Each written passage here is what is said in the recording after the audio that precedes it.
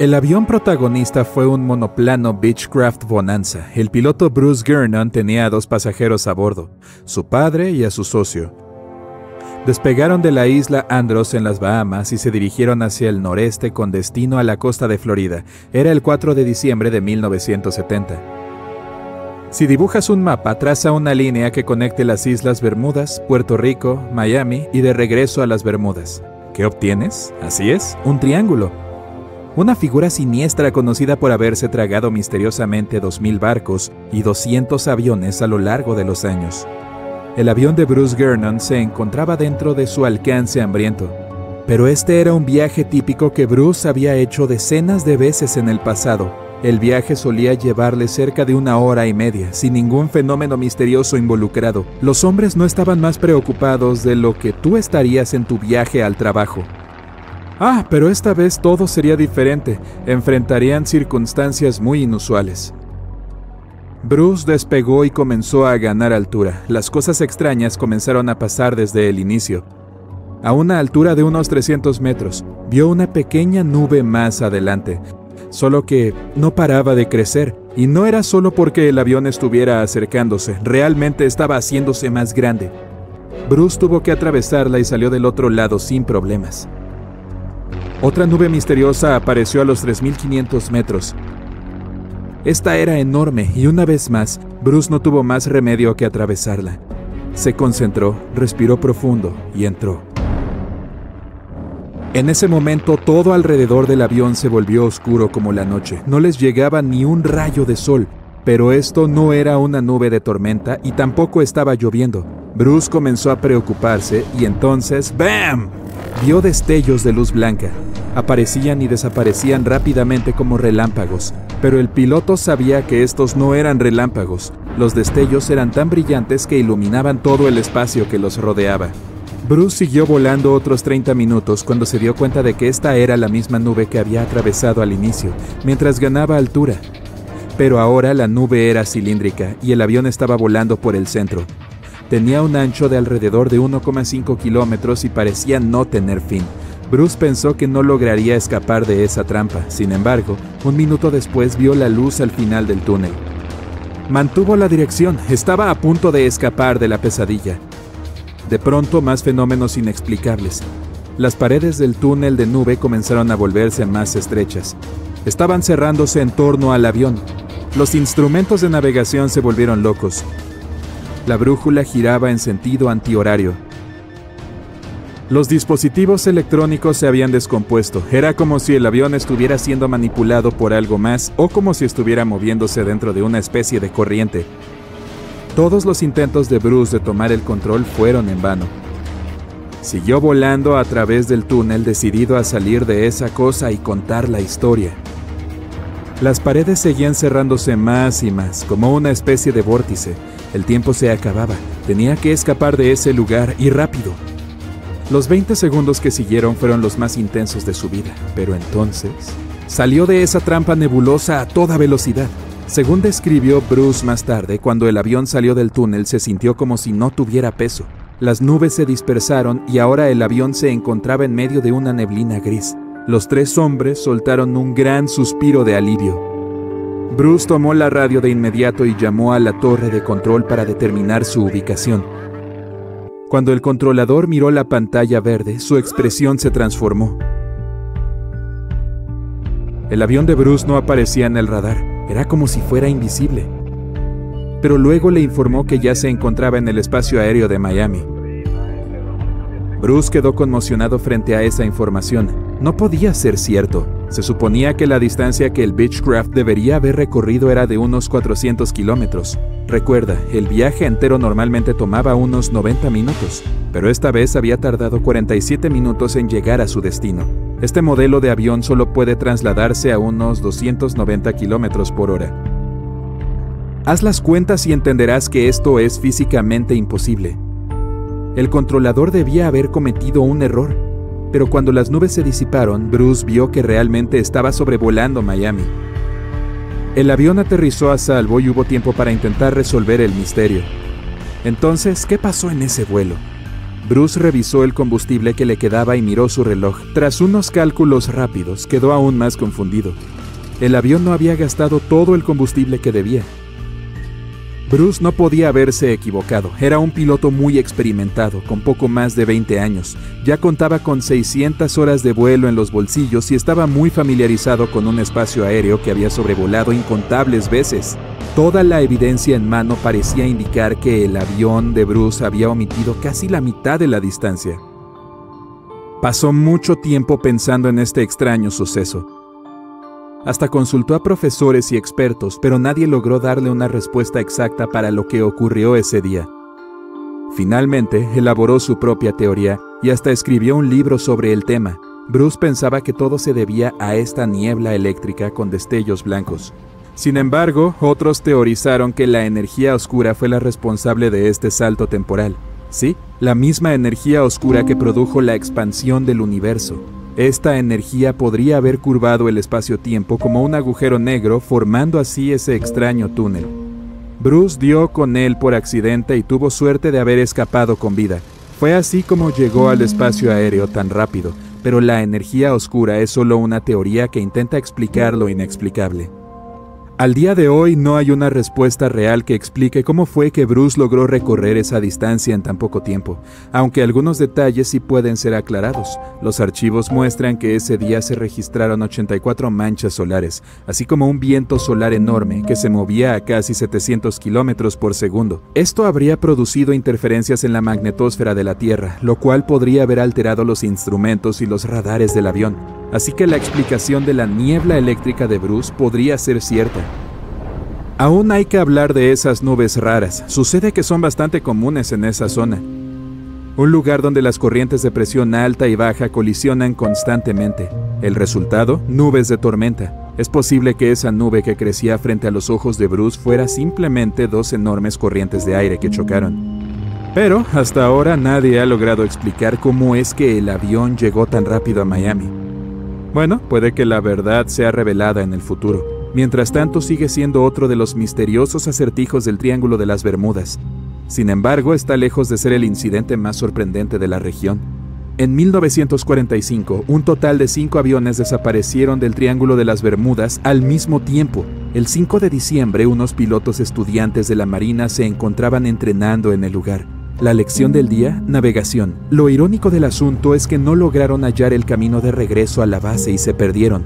Muchos asumen que se quedaron sin combustible. Es probable que esto haya provocado el incidente, pero las circunstancias fueron muy extrañas.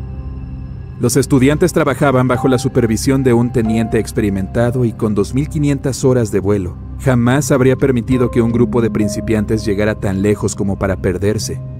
El incidente fue llamado Vuelo 19. Incluso hoy se debate cómo pudo haber ocurrido.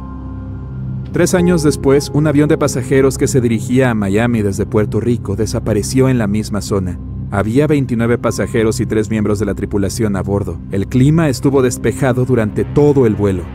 Pero los expertos creen que, cuando el avión se encontraba a unos 80 kilómetros de la costa de Miami, un viento fuerte pudo haberlo golpeado y desviado de su curso, Años después, unos buzos hallaron un avión similar en las aguas de la región. Sin embargo, debido a la falta de algunos detalles y registros, nadie pudo confirmar que se trataba del avión desaparecido con destino a Miami.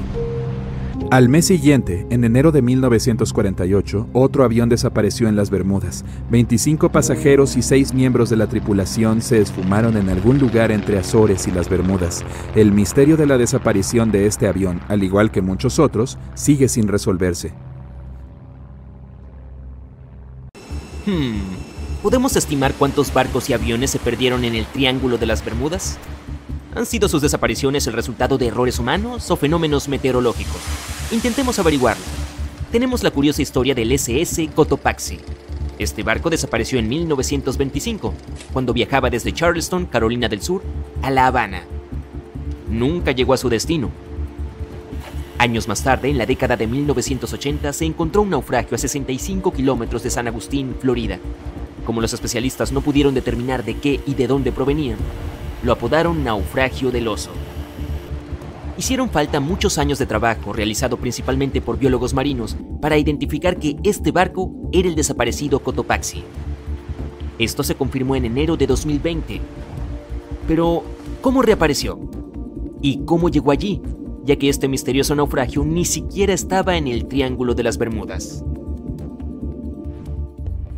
Veamos a quién se le ocurrió este término, Triángulo de las Bermudas. ¿Puedes realmente señalar el triángulo en un mapa? No, y tampoco es un lugar reconocido oficialmente.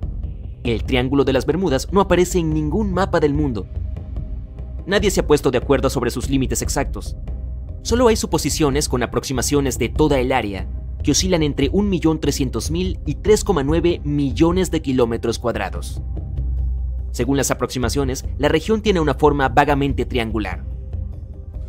En 1964, el autor estadounidense Vincent Gaddis tuvo la idea por primera vez al escribir un artículo para la revista Argosy. Usó el Triángulo de las Bermudas para describir una región triangular que ha destruido cientos de barcos y aviones sin dejar rastro. Es bastante difícil calcular la cantidad de barcos y aviones perdidos porque algunos han desaparecido sin dejar ningún rastro. Sus restos en la región no han sido recuperados. Pero las historias grabadas deberían ayudarnos. Las leyendas sobre el Triángulo de las Bermudas se remontan al siglo XV, como la del explorador italiano Cristóbal Colón. Cuando navegaba por las aguas del Atlántico a fines del siglo XV, pasó por este lugar. En lo que ahora conocemos como el Triángulo de las Bermudas, vio una enorme llama que parecía estrellarse contra el océano. Más tarde vio una luz inusual parpadeando en la distancia, en el lugar exacto. Como muchos otros marineros desde entonces, su brújula tuvo graves fallas, Pasemos al vuelo 19. En 1945, un avión de la Marina que realizaba un vuelo de rutina también inició una leyenda en este triángulo. Era comandado por el teniente Charles Taylor, y está registrado que se perdió en el triángulo sin ningún motivo. Dado que los pilotos no tenían GPS en ese entonces, debían confiar en sus brújulas y realizar un seguimiento de cuánto tiempo habían estado volando en una dirección específica y su velocidad. Poco después de completar la tarea, las dos brújulas a bordo dejaron de funcionar correctamente. Los registros hallados después de la desaparición del avión también indican que Taylor no tenía reloj ese día en particular. El informe inicial indicó que el error del piloto fue la razón de este desafortunado evento. Sin embargo, debido a que las personas no estaban satisfechas con este resultado, se cambió a causas o razones desconocidas después de varias revisiones. Un piloto sobreviviente llamado Bruce Gernon sugirió que atravesó una niebla electrónica mientras pasaba por encima del triángulo, lo que lo hizo viajar en el tiempo.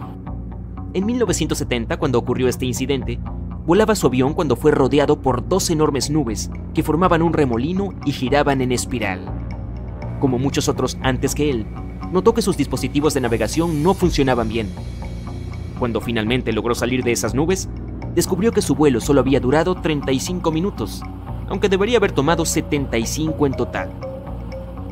Y como no tenía otra explicación razonable para lo que pasó, creía que debía haber sido empujado hacia adelante en el tiempo. No solo se han visto nubes de aspecto extraño sobre el Triángulo de las Bermudas. En 2014, un piloto recordó casi chocar con un objeto volador que no pudo identificar. Algunos de estos extraños encuentros incluso fueron grabados, ese fue el caso de un vuelo de principios de 2015, cuyos pasajeros notaron un curioso objeto flotando sobre el océano. Los pilotos aún tienen que descubrir qué es lo que realmente vieron allí. Ok, no todas las posibles explicaciones han sido tan inusuales. Los oceanógrafos, por ejemplo, también han tratado de explicar por qué los barcos desaparecen en esta zona. Recientemente regresaron a una de sus viejas teorías, olas rebeldes son inmensas paredes de agua que surgen de repente.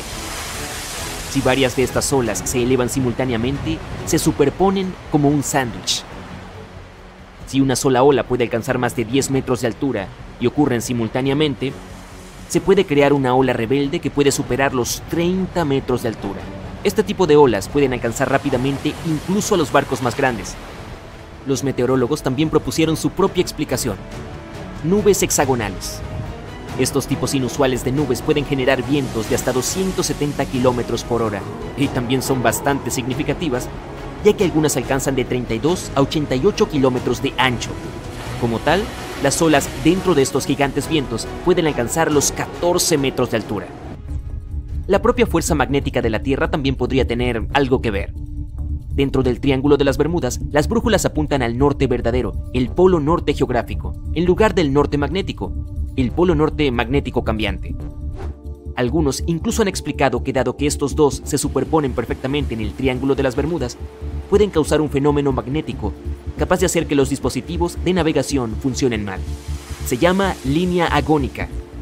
El problema es que científicos han descubierto que esta línea se mueve cada año, Puede que haya pasado por el Triángulo en algún momento, pero ahora está a través del Golfo de México.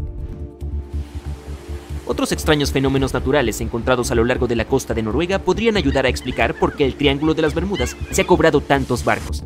Hay algunos cráteres allí que miden hasta 800 metros de ancho y tienen 45 metros de profundidad. Los científicos creen que fueron creados por burbujas de gas metano. Este gas parece estar escapando de depósitos ocultos en las profundidades del lecho marino, una vez que alcanza una cierta cantidad, sale a la superficie y provoca erupciones. Entonces, ¿los pilotos y capitanes de barcos realmente evitan esta área hoy? ¿Podría esto explicar por qué hay menos barcos que se pierden allí hoy en día? Pero, si alguna vez has volado de Miami a San Juan, Puerto Rico, probablemente sepas que esto no es cierto. En cuanto a los barcos, si la gente evitara el Triángulo de las Bermudas, casi todas las vacaciones en el Caribe se arruinarían. Hasta el día de hoy hay muchos vuelos que pasan por el Triángulo de las Bermudas, por lo que está claro que nadie lo está evitando. Este lugar es una de las rutas marítimas más transitadas del mundo. En la actualidad tiene un intenso tráfico, tanto por mar como por aire. Pero el Triángulo de las Bermudas está sujeto a tormentas tropicales y huracanes que ocurren con mucha frecuencia. Ten en cuenta que la corriente del Golfo, una fuerte corriente oceánica que provoca cambios bruscos en el clima local pasa por el triángulo. Además, el punto más profundo del Océano Atlántico, la depresión de Milwaukee, también se encuentra en el Triángulo de las Bermudas. La fosa de Puerto Rico alcanza más de 8.300 metros en la depresión de Milwaukee. Entonces, si lo piensas, todo el misterio es una combinación perfecta de error humano, mal tiempo y mucho tráfico de barcos. Esto fue confirmado por los datos proporcionados por la Guardia Costera de los Estados Unidos. Si miras los porcentajes, la cantidad de barcos o aviones que desaparecen en el Triángulo de las Bermudas no es diferente de cualquier otro lugar. Las desapariciones no ocurren con más frecuencia que en cualquier región comparable del Océano Atlántico. Las estadísticas oficiales dicen que cerca de 50 barcos y 20 aviones han desaparecido mientras viajaban por esta región. Esa es otra razón por la que el número total es tan difícil de precisar nadie podría describir su rescate en los registros oficiales si se denunciaba la desaparición de un barco. También hay algunos eventos que al parecer no sucedieron, lo que se suma a esos informes falsos. Como el de un accidente aéreo en 1937 frente a Daytona Beach, Florida, del que los periódicos locales sorprendentemente no revelaron nada. El Triángulo de las Bermudas es uno de los misterios que aún no logramos resolver Retrocedamos unos 600 años. La historia comienza con un hombre italiano. Él quería navegar a través del océano para llegar a Asia, un continente rico en especias, seda, minerales, ese tipo de cosas. Llegar allí por tierra sería ridículamente difícil, así que pensó, oigan, ¿por qué no construimos barcos resistentes, reunimos algunos marineros y navegamos a Asia? ¿Qué podría salir mal? Por cierto, ese hombre era Cristóbal Colón, en 1492, con un poco de ayuda de la familia real española, se embarcó en su viaje. Todo marchaba bien, es decir, más allá de que viajaba en sentido opuesto, pero hacia el final de su recorrido notó algo muy extraño. En aquel entonces no lo sabía, pero estaba navegando por el infame Triángulo de las Bermudas. El TV, el punto sin retorno, el lugar aterrador entre las Bermudas, Puerto Rico y Florida. Hay cientos de historias de barcos, botes y aviones que desaparecieron en este misterioso territorio. Algunos fueron hallados años después, otros desaparecieron de la faz de la Tierra y yacen al fondo del océano. Tal vez. Una cosa es segura, no tenemos idea de lo que sucede allí. Las personas llevan años intentando descifrarlo, pero no, nada, nada de nada. Entonces, ¿qué fue lo que Cristóbal Colón vio esa terrible noche? ¿Qué lo asustó tanto? Según su diario, vio un enorme destello en el cielo. No importa qué tan rudo seas, imagina que estás navegando sin una sola pista sobre tu ubicación y que de pronto ves un destello gigante frente a ti. Me encontrarías escondida debajo de la cubierta masticando limón o algo así. Ese no es el único misterio que esconde el mar, para nada. ¿Has oído hablar del kraken? Un calamar gigante capaz de tragarse un barco entero, ¿no? Tienes suerte. Imagina que navegas por los mares con el viento en el cabello y las manos en la cadera, como los piratas de las películas. De pronto, un enorme calamar emerge de la profundidad de las aguas frías y oscuras. Envuelve el barco con sus tentáculos y lo arrastra al fondo del océano. ¡Qué bueno que tienes un salvavidas! ¿Qué me dices de una enorme serpiente marina que persigue tu embarcación a toda velocidad en busca de un bocadillo? Se la conoce como Leviathan. Y tienes suerte de que no sea real o las sirenas con cuerpo de ave, las criaturas malvadas y hermosas del océano. Les gusta pasar el rato en las rocas y cantar karaoke. Sus voces mágicas atraen a los marineros y los hacen dirigir sus barcos hacia las rocas filosas. En cambio, las otras sirenas son asombrosas. También les gusta el karaoke, pero no les atrae eso de destrozar barcos. ¡Qué agradables! Son reales, ¿no? Y no olvidemos a los piratas con pata de palo. ARK, saqueos, robos, decir ARK cada dos segundos. ARK. ¿Qué otra cosa hacen todo el día? Como sea, regresemos con Colón. ¿Será que vio una tormenta? Da, ¿por qué no pensó en eso? Bueno, no tengo 600 años. No existía por aquel entonces. ¿Cómo podría yo saberlo? Lo raro es que no habló de olas gigantes, ni de lluvias intensas, tampoco de vientos feroces, solo un único destello en el cielo. Tal vez los delfines estaban lanzando fuegos artificiales. Después de la luz, Colón mencionó que la aguja de su brújula comenzó a bailar por todas partes. Esta historia se está haciendo más y más rara. Su relato termina con una tortuga amigable que salió del agua y empujó los tres barcos hacia la orilla. Después todos fueron por unas salchichas. Es broma, entonces, ¿qué sucedió? Actualmente los científicos creen tener la respuesta. ¿Tambores? un asteroide se estalló en el océano. Caso cerrado. Pero espera, ¿qué hay del asunto de la brújula? ¿Qué tiene que ver con un asteroide? Los asteroides vienen en todas las formas y tamaños, pero son como los huevos de chocolate. Lo mejor está adentro. Están llenos de minerales y metales por un valor de billones de dólares. Los científicos incluso están buscando la manera de aterrizar en uno más grande para minarlo. Tendría que ser realmente grande. Hablo de un asteroide del tamaño de Rhode Island. ¿Por qué? Porque hay buenas chances de que tenga un campo magnético a su alrededor, lo que facilitaría el aterrizaje. Los científicos creen que los campos magnéticos que rodean algunos asteroides pueden durar millones de años. Misterio resuelto. Tal vez la brújula de Cristóbal Colón se volvió loca porque un asteroide se estrelló justo frente a él. De hecho, eso podría explicar otras historias extrañas en la región. Hace unos 100 años, el USS Cyclops zarpó de Barbados con destino a Baltimore y navegó a través del Triángulo de las Bermudas. Nunca llegó. Los equipos de búsqueda pasaron mucho tiempo buscándolo, pero no hallaron nada fue como si hubiera desvanecido. En 1945, cinco aviones militares desaparecieron sin dejar rastro. Habían volado sobre el Triángulo de las Bermudas. Si hay un asteroide en algún lugar al fondo del mar, ¿por qué sigue trayendo problemas 500 años después? Los radares y las brújulas clásicas dependen del campo magnético de la Tierra. Los radares se utilizan para rastrear vuelos por todo el mundo. ¿Una mala lectura de radar? Eso sería un problema. Coloca un imán cerca de una brújula y mira lo que sucede. La aguja está imantada y siempre apunta hacia el norte, pero si la acercas a un imán lo suficientemente fuerte comenzará a apuntar hacia él. ¿Qué pasaría si solo contaras con esa brújula para hallar el camino a tierra firme? Los capitanes de los barcos japoneses fueron los primeros en inventar las brújulas. Antes de eso, las personas solían navegar cerca de la orilla o a las islas que pudieran ver. Gracias a las brújulas, los primeros navegantes podían registrar a dónde iban, lo que significa que otras personas podían ir también. Ahora que contamos con nuestra tecnología moderna, la pregunta es, ¿acaso el asteroide sigue ahí abajo? ¿Cómo podríamos bajar para averiguarlo? No sería el primer viaje al fondo del mar, ya hemos bajado a la fosa de las Marianas, la más profunda de la Tierra. Esta fosa hace que escalar el monte Everest parezca una broma. Solo dos personas han estado ahí abajo. Debido a su profundidad, la presión del agua es terrible. La única manera de llegar es en un submarino de alta tecnología, algo que no queda aplazado frente a tanta presión. Y una cosa así no es barata. ¿Qué, qué hay? Mucha oscuridad, silencio y belleza, y varios animales raros. El Triángulo de las Bermudas no es tan profundo como la fosa de las Marianas, así que tal vez podamos bajar algún día. Puede que encontremos ese asteroide que Colombio, esta vez con millones de pececitos que lo convirtieron en su hogar. Todos esos barcos y aviones que desaparecieron también deberían estar por ahí. O puede que veamos algo que no esperábamos.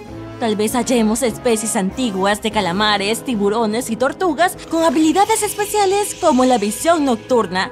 Tal vez encontremos oro Muchos barcos llenos de oro y plata se hundieron de camino a Europa desde América. Algunos de esos barcos mostraban restos de incendios, otros se quebraron en dos y la mayoría sigue ahí afuera. En una ocasión, unos buzos japoneses hallaron una especie de pirámide submarina antigua.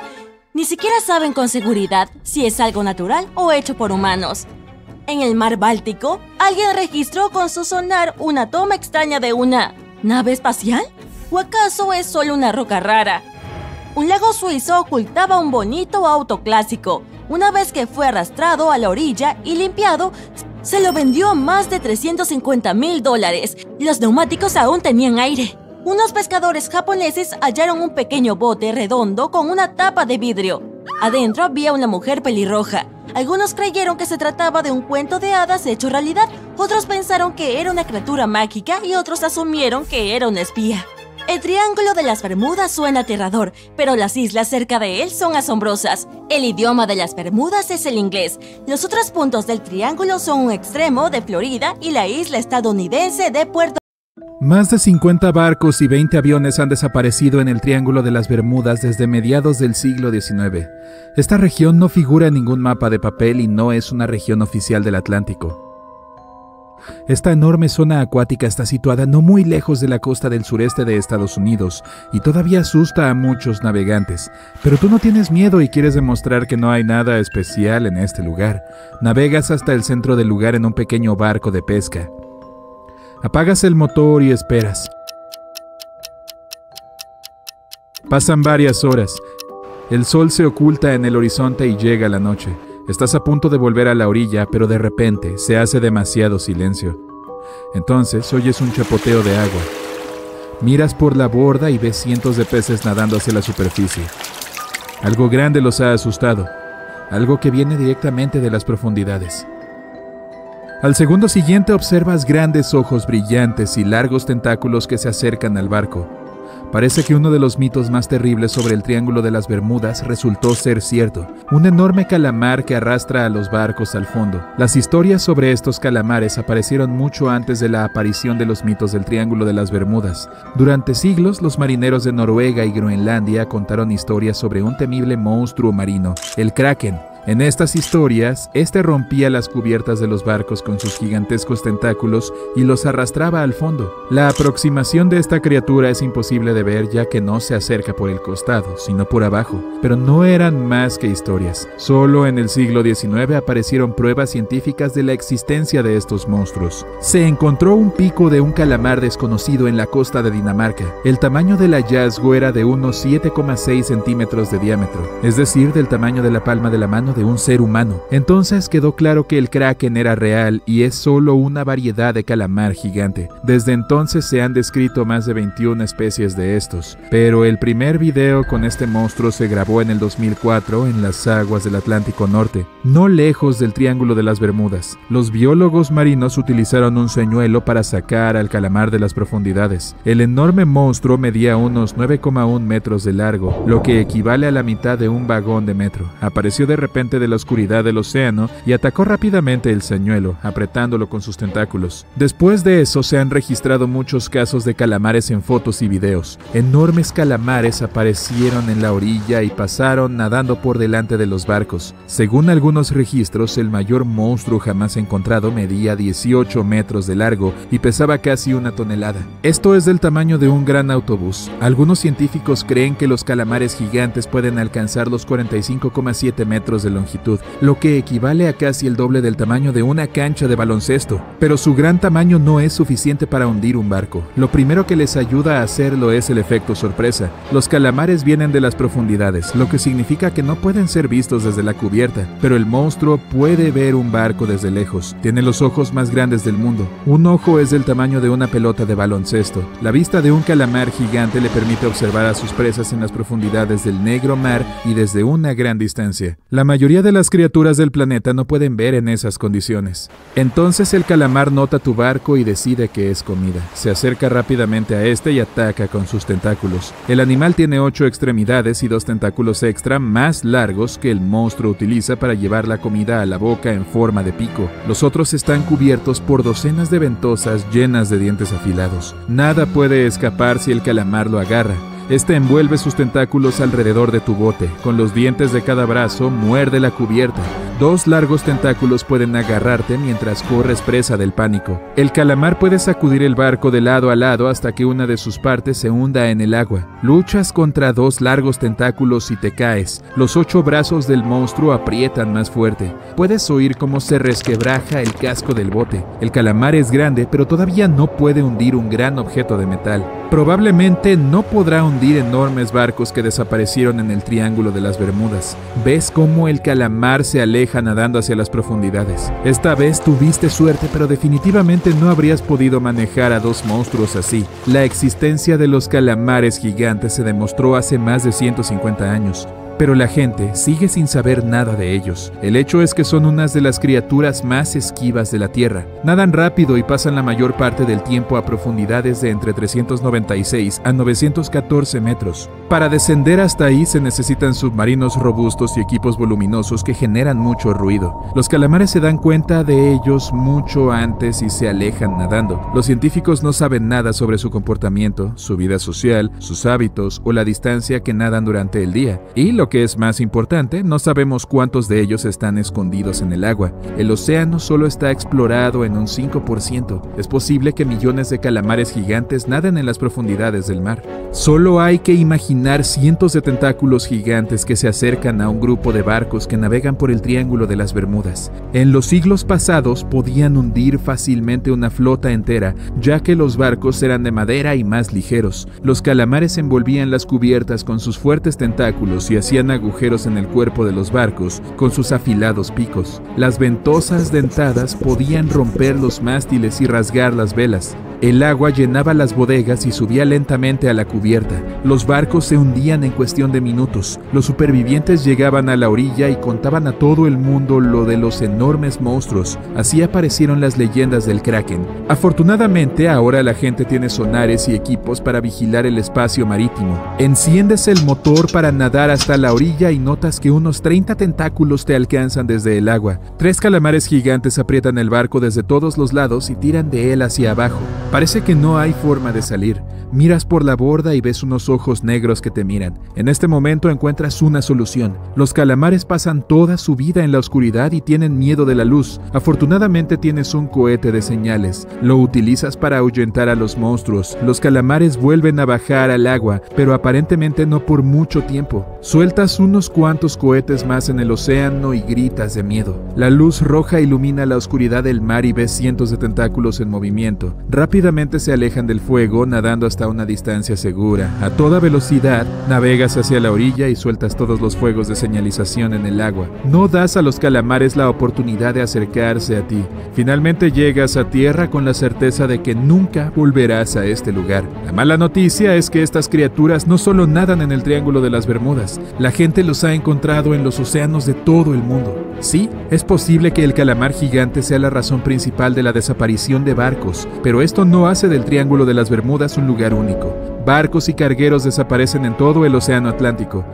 El Triángulo ni siquiera está incluido en el top 10 de estos lugares. Además, esta zona es una de las rutas marítimas más populares del Atlántico. Y cuantos más barcos navegan en un lugar, más de estos se pierden. Muchos científicos creen que la razón de las desapariciones aquí son las fuertes tormentas y huracanes.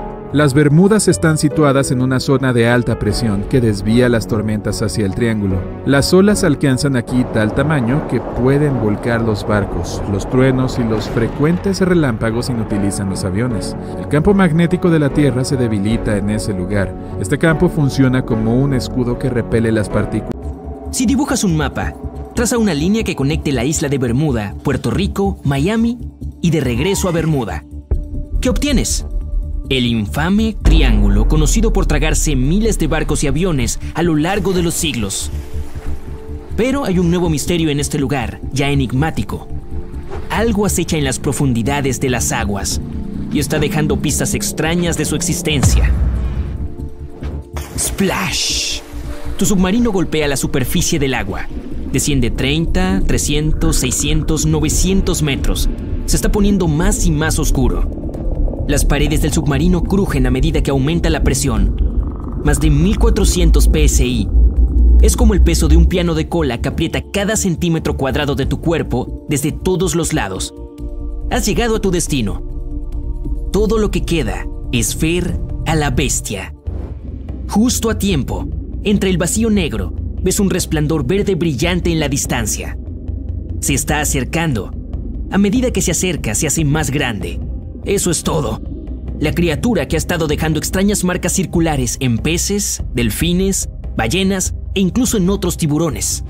He aquí, el tiburón cortador de galletas. No dejes que su tamaño te engañe. Puede que no sea más largo que un boliche, pero esta criatura es un parásito. Se adhiere a otros animales marinos usando sus dientes cerrados cuidadosamente dispuestos. Con un mordisco, se llena el estómago, se desprende y continúa con su día. Y su bocadillo móvil también sigue vivo. La única prueba de este encuentro, una marca en forma de galleta. Hmm. No asumas que estás a salvo en tu submarino. Se sabe que estos pequeños audaces persiguen a los submarinos también.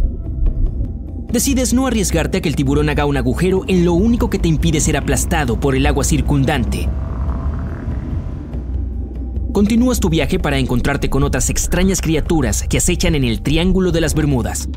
Al doble de profundidad encontrarás al pez dragón. A diferencia de otros habitantes de aguas profundas, estas cosas producen luz en el rango infrarrojo azul y verde, y es a lo que se adhieren otros peces. Esto le da al pez dragón una gran ventaja. Se proporciona a sí mismo una luz que otros habitantes marinos simplemente no pueden percibir. Las cosas que quieren comerse al pez dragón no pueden detectarlo tan bien como las criaturas de las que él se está alimentando. Y un habitante de las profundidades marinas verdaderamente único es el calamar vampiro. Ni vampiro, ni calamar, ni siquiera pulpo. Esta cosa es una especie única en sí misma.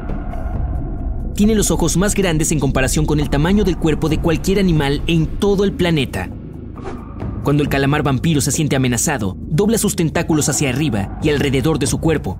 Esencialmente, la cosa se vuelve al revés. Otro animal que hay que evitar aquí abajo es el aterrador gusano bobbit. Se entierra en el fondo marino, dejando fuera una pequeña parte de su cuerpo. Espera la hora de la cena con sus piezas bucales abiertas en forma de pinza. ¿Qué hay en el menú? Otros gusanos y peces que pueden ser siete veces más grandes que el bobbit. Utiliza sus cinco antenas para detectar cuando el almuerzo está lo suficientemente cerca como para atraparlo. En un instante, el gusano se lanza hacia adelante y agarra su almuerzo con sus piezas bucales. Pero aún no ha terminado. Una vez que tiene sus mandíbulas clavadas en su almuerzo, el gusano lo inyecta con veneno y lo empuja hacia la madriguera para darse un gran festín. Una de las trincheras más profundas del Triángulo de las Bermudas es la lengua del océano, este es también el caldo de cultivo secreto de los tiburones tigre. Los reconocerás instantáneamente gracias a esas rayas grises más oscuras de tigre en sus costados. Son la segunda especie de tiburón depredador más grande después del gran blanco. Y con un tamaño grande, viene un gran apetito. Mamíferos marinos, tiburones más pequeños, rayas y tortugas verdes están en el menú.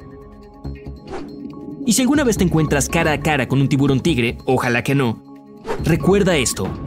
Puedes saber la edad del pez mirando sus rayas. Se desvanecen con el tiempo, por lo que cuanto más joven es el tiburón, más pronunciadas son sus rayas. Hay mucho zooplancton en el Triángulo de las Bermudas. Estos son generalmente pequeños organismos que son esenciales para la cadena alimentaria del océano. Pero escucha esto. Si nada se los comiera y se los dejara crecer fuera de control, el zooplancton cubriría el mundo entero en capas y capas en solo cuatro meses. Ah, y el tipo más grande de zooplancton es la medusa.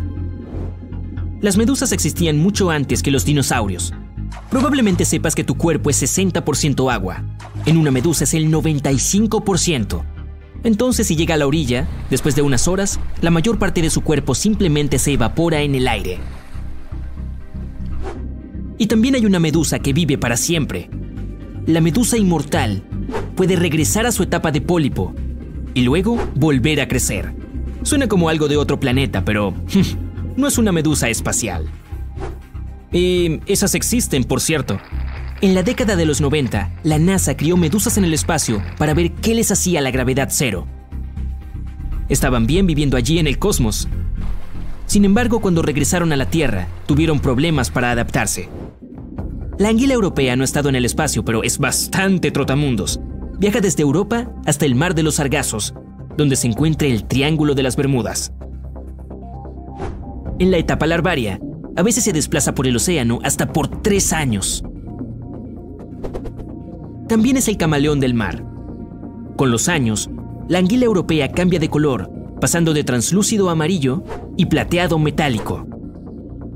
Son nocturnas y reservadas. Prácticamente el compañero ideal para tener cuando asaltas el refrigerador a medianoche. Un calamar gigante de más de la mitad de la longitud de un campo de fútbol una vez llegó a una playa de Florida.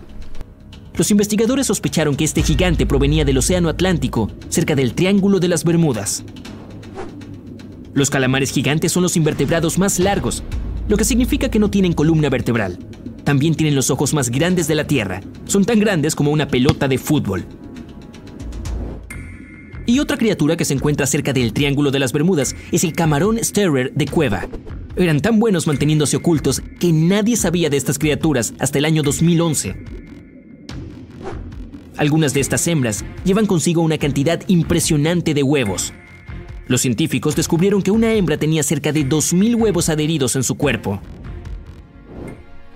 El petrel de las Bermudas es el ave nacional de... Sí, lo adivinaste, las Bermudas. Es la segunda ave marina más rara de todo el planeta. De hecho, la gente pensó que estaba extinta hasta 1951, cuando vieron algunas en la isla tiene un grito espeluznante que de seguro hará que se te erice la piel. El mero de Nassau solo se puede encontrar en las costas del sur de Florida. Este pez acecha y embosca para su almuerzo a otros peces, cangrejos y langostas. Es como una aspiradora porque inhala la comida a través de su enorme boca. El pez también tiene un mecanismo de defensa genial. Como el camaleón, cambia de color cuando se siente en peligro y a veces adquiere un tono más claro o más oscuro de su propio color para mezclarse con el entorno. Por lo tanto, puedes ver un mero de Nassau o puede que no. Si visitas el Triángulo de las Bermudas, probablemente verás un tiburón martillo. Usan esa icónica cabeza en forma de martillo para encontrar su almuerzo, mantarrayas en el fondo del océano. La forma de su cabeza también les da una mejor visión, pueden ver casi 360 grados a su alrededor, por encima y por debajo de ellos. Bueno, excepto por un punto ciego justo enfrente de sus narices. Es posible que la tortuga carey no parezca intimidante, pero esta chica se comerá todo lo que pueda conseguir con su pico de pájaro. Esponjas de mar, algas e incluso medusas venenosas. Muchas de las cosas de su menú no son comestibles para la mayoría, pero su grasa corporal puede absorber el veneno y las toxinas para salir ilesas. Y el Triángulo de las Bermudas también es el lugar de los glowworms verdes. En realidad no son gusanos, sino larvas. Producen esa luz brillante de un órgano cerca de su cola. Esta luz hace que las criaturas más pequeñas se acerquen a ellas, lo que les facilita la captura de su almuerzo. La mayoría de las veces se ven bastante normales, pero tienen un horario extrañamente fijo. Cada tercera noche después de la luna llena durante el verano, a una hora exacta, la luz se enciende.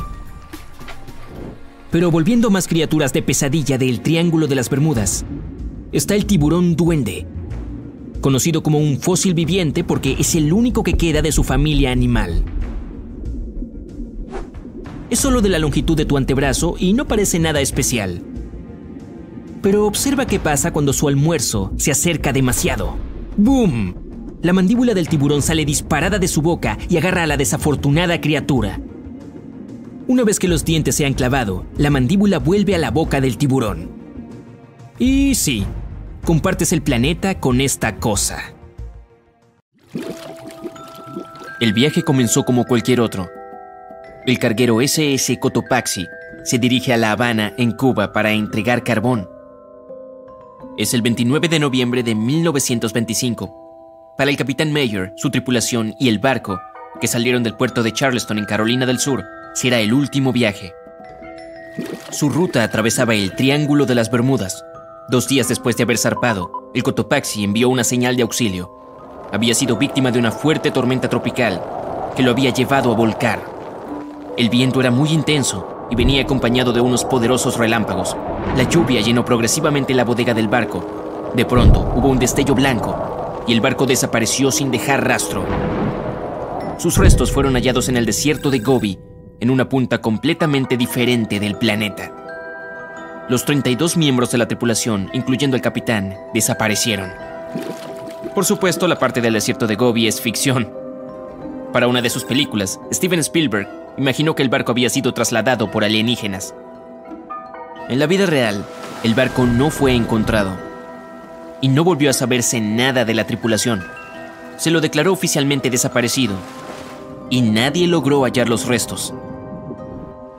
Parece uno de esos clásicos casos de fenómenos misteriosos en torno al Triángulo de las Bermudas, pero la mayoría de los misterios se resuelven tarde o temprano. En 2020, el Cotopaxi fue hallado. Un hombre llamado Michael Burnett se había mudado a Florida para estudiar naufragios en la costa. Uno en particular llamó su atención era mucho más grande que el resto, y las personas de la zona lo llamaban naufragio del oso.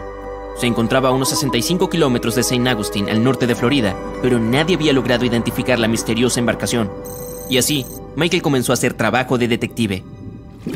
Midió los restos y revisó toda la información que logró encontrar. Repasó cientos de periódicos viejos y registros de seguros y echó un vistazo a los artefactos que formaban parte del naufragio. Tras cientos de horas de trabajo duro, Michael quedó convencido, era el Cotopaxi. Pero desde hacía unos años, corría el rumor de que el mismo barco había aparecido en la costa de Cuba. La Guardia Costera había encontrado los restos de un carguero de un tamaño similar y muy parecido al barco desaparecido en 1925. Michael estaba seguro de que se equivocaban, así que unió fuerzas con unos periodistas científicos y siguió investigando. Pronto descubrieron algo que parecía confirmar las sospechas. Los buzos hallaron válvulas de latón cerca de los restos con las letras SB. A Michael se le ocurrió que las iniciales podían referirse a la Scott Valve Manufacturing Company. La sede central de esta empresa se encontraba en Michigan, no muy lejos de donde el Cotopaxi había sido construido. Así que era probable que hubieran abastecido a la embarcación con partes. El rompecabezas parecía estar resuelto. El naufragio del oso era realmente el carguero desaparecido. Pero aún restaba hallar la razón del hundimiento ¿Acaso el Cotopaxi había sido víctima de algún fenómeno misterioso en el Triángulo de las Bermudas?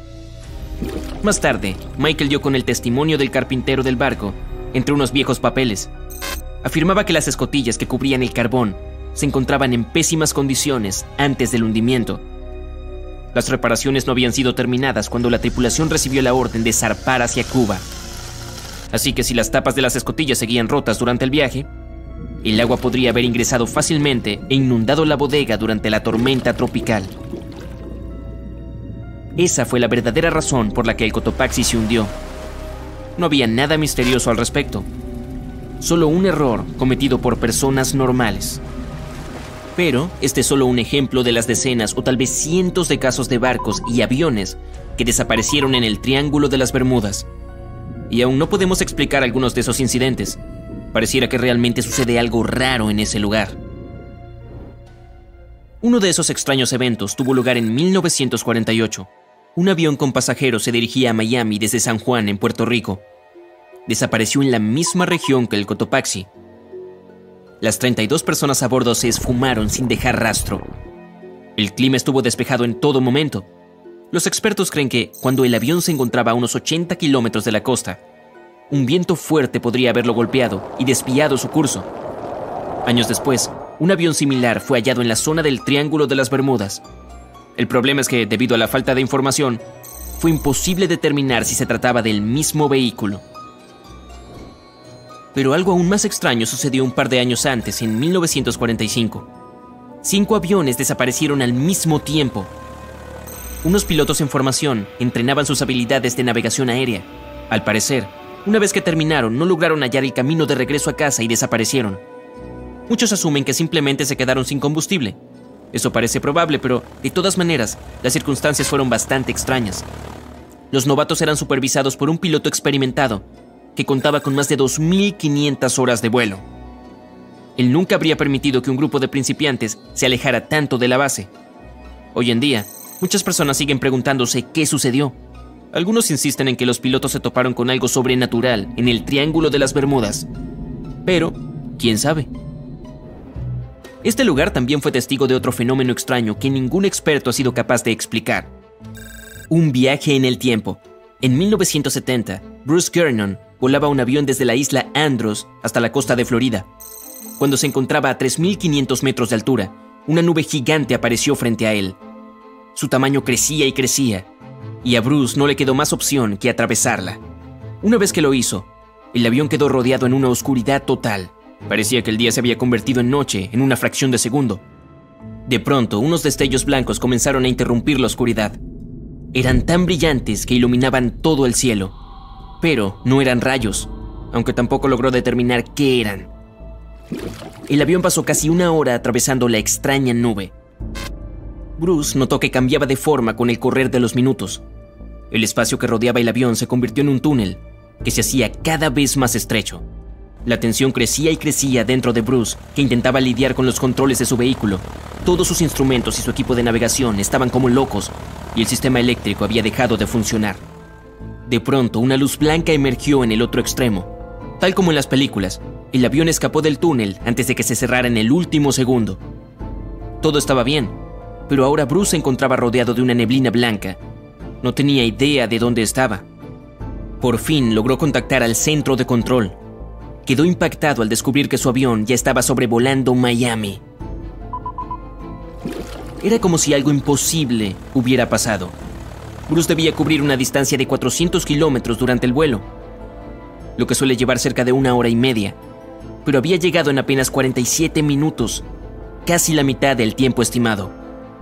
Cuando aterrizó, revisó el combustible que quedaba en el tanque y descubrió que había usado mucho menos de lo normal. Pero, ¿existe una explicación lógica para este avión que viajó en el tiempo?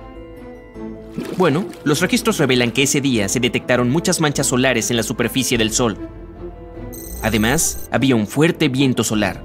Eso podría haber provocado fácilmente que el equipo electrónico y los dispositivos del avión se volvieran locos. Pero, ¿qué hay de la misteriosa nube? La costa de Florida es el punto de encuentro de dos grandes corrientes de aire. Una tiene una presión alta y la otra una presión baja, lo que genera muchas nubes de tormenta. Pero las personas siguen discutiendo cómo fue que Bruce logró cubrir esa distancia tan rápido. Algunos afirman que un tipo misterioso de energía oscura fue la responsable. Otros dicen que se trata de una anomalía gravitatoria que alteró el espacio-tiempo. Y otros opinan que la historia de Bruce es un fraude. Aún no conocemos la verdad. Entonces, ¿existe realmente algo sobrenatural en el Triángulo de las Bermudas? ¿O acaso son solo coincidencias e historias inventadas? Lo cierto aquí es que en ningún otro lugar del mundo desaparecen tantos barcos y aviones como en el Triángulo de las Bermudas. 10 de abril de 1912. Estás en la costa del Océano Atlántico, en una pequeña ciudad portuaria. Cientos de personas, y tú entre ellas, van a embarcar en el enorme y majestuoso barco. Es tres veces más largo que la altura de la Estatua de la Libertad el navío está considerado como la embarcación más avanzada e insumergible de su tiempo. Se pueden ver cientos de ventanas de camarotes de lujo en su cubierta y la inscripción Titanic en el magnífico casco de hierro. Este día el famoso transatlántico partió en su primer y último viaje desde Southampton a Nueva York. Pero ahora verás una historia alternativa. Puedes escuchar a un miembro de la tripulación anunciando el inicio del viaje del Titanic. El barco navega desde África hasta las Bermudas. Y la causa de su catástrofe no será en absoluto un iceberg. Durante cuatro días el Titanic navega por aguas del Atlántico Norte. El sol calienta tanto el navío que durante el día todos los pasajeros se sientan dentro del barco. Por la tarde, cuando una brisa fresca desciende sobre el océano, toda la gente sube a cubierta para contemplar el hermoso rojo atardecer. Medianoche, 15 de abril. Estás sentado en tu camarote leyendo un libro. Usualmente estás dormido a esta hora, pero ahora mismo estás hojeando una página tras otra. Cierras el libro y miras alrededor de la cabina. Sientes que alguien te observa. Te levantas y empiezas a sudar frío. Una inexplicable sensación de ansiedad impregna tu cuerpo y te pone la piel de gallina. Miras por la ventana del camarote, donde el rocío del mar golpea el cristal, pero no puedes ver nada. Hay una espesa niebla en el exterior. Sales de la cabina. Además de ti, varios pasajeros también han abandonado sus camas por la sensación de peligro. Te saludan y se preguntan qué pasa. Nadie lo sabe. Te diriges a las escaleras para salir a la cubierta y ver la situación. En ese momento el suelo se desprende de tus pies. Un fuerte empujón te hace caer. Un estruendo retumba en el Titanic. Te levantas y ves que cada vez más gente sale de sus camarotes. Subes corriendo las escaleras y te encuentras con un miembro de la tripulación. No te dice nada, pero sus ojos están muy abiertos por el miedo. Subes a cubierta y difícilmente puedes ver algo. Una niebla espesa y húmeda se ha instalado en el barco. Varios pasajeros se agarran la cabeza como si les doliera. Ves al capitán y le preguntas qué ha pasado. Él admite que no tiene idea de dónde están. Ves una brújula en su mano. La flecha gira en diferentes direcciones. Es imposible determinar dónde está exactamente el barco ahora. Curiosamente, el Triángulo de las Bermudas no existía antes de 1964, pero los primeros informes sobre embarcaciones desaparecidas en esta zona se remontan a mediados del siglo XIX. Otro empujón. Esta vez has conseguido mantenerte en pie. Parece que algo grande acaba de golpear el barco. Corres hacia la barandilla del borde de la cubierta y miras por ahí. A través de la niebla blanca, notas una enorme aleta de tiburón. No has visto el tamaño completo del animal, pero por lo que has observado, debe ser tan largo como un vagón de tren. El tiburón se aleja nadando, pero al cabo de unos segundos vuelves a ver su aleta. Se acerca rápidamente al barco y agarra el casco de hierro con sus enormes mandíbulas. La cubierta tiembla. Se oye el rechinar del metal. Parece que este enorme depredador acaba de hacer un agujero en el casco. Solo una criatura en el planeta puede hacer esto. El megalodón. Es un antiguo depredador marino que medía casi 20 metros de largo. El megalodón no tenía competencia en el océano. Estaba en la cima de la cadena alimenticia. Se cree que el tiburón desapareció hace millones de años, pero el océano solo está explorado en un 5%. Aquí está vivo y nadando en las misteriosas aguas del Triángulo de las Bermudas. Todos a bordo del barco entran en pánico. La gente de las cubiertas inferiores corre hacia arriba. El Titanic se hunde lentamente y se inclina hacia un lado. Todo el mundo se dirige a los botes salvavidas, pero nadie se atreve a subir a ellos mientras el enorme y antiguo monstruo esté cerca. La proa del barco se sumerge bajo el agua. Te sitúas en el lado izquierdo de la cubierta y ves como el megalodón arranca a mordiscos trozos del casco de hierro. Gritas a la gente de la sección de popa que el megalodón está ocupado y que tienen tiempo para evacuar. Los primeros botes de rescate con pasajeros bajan al agua.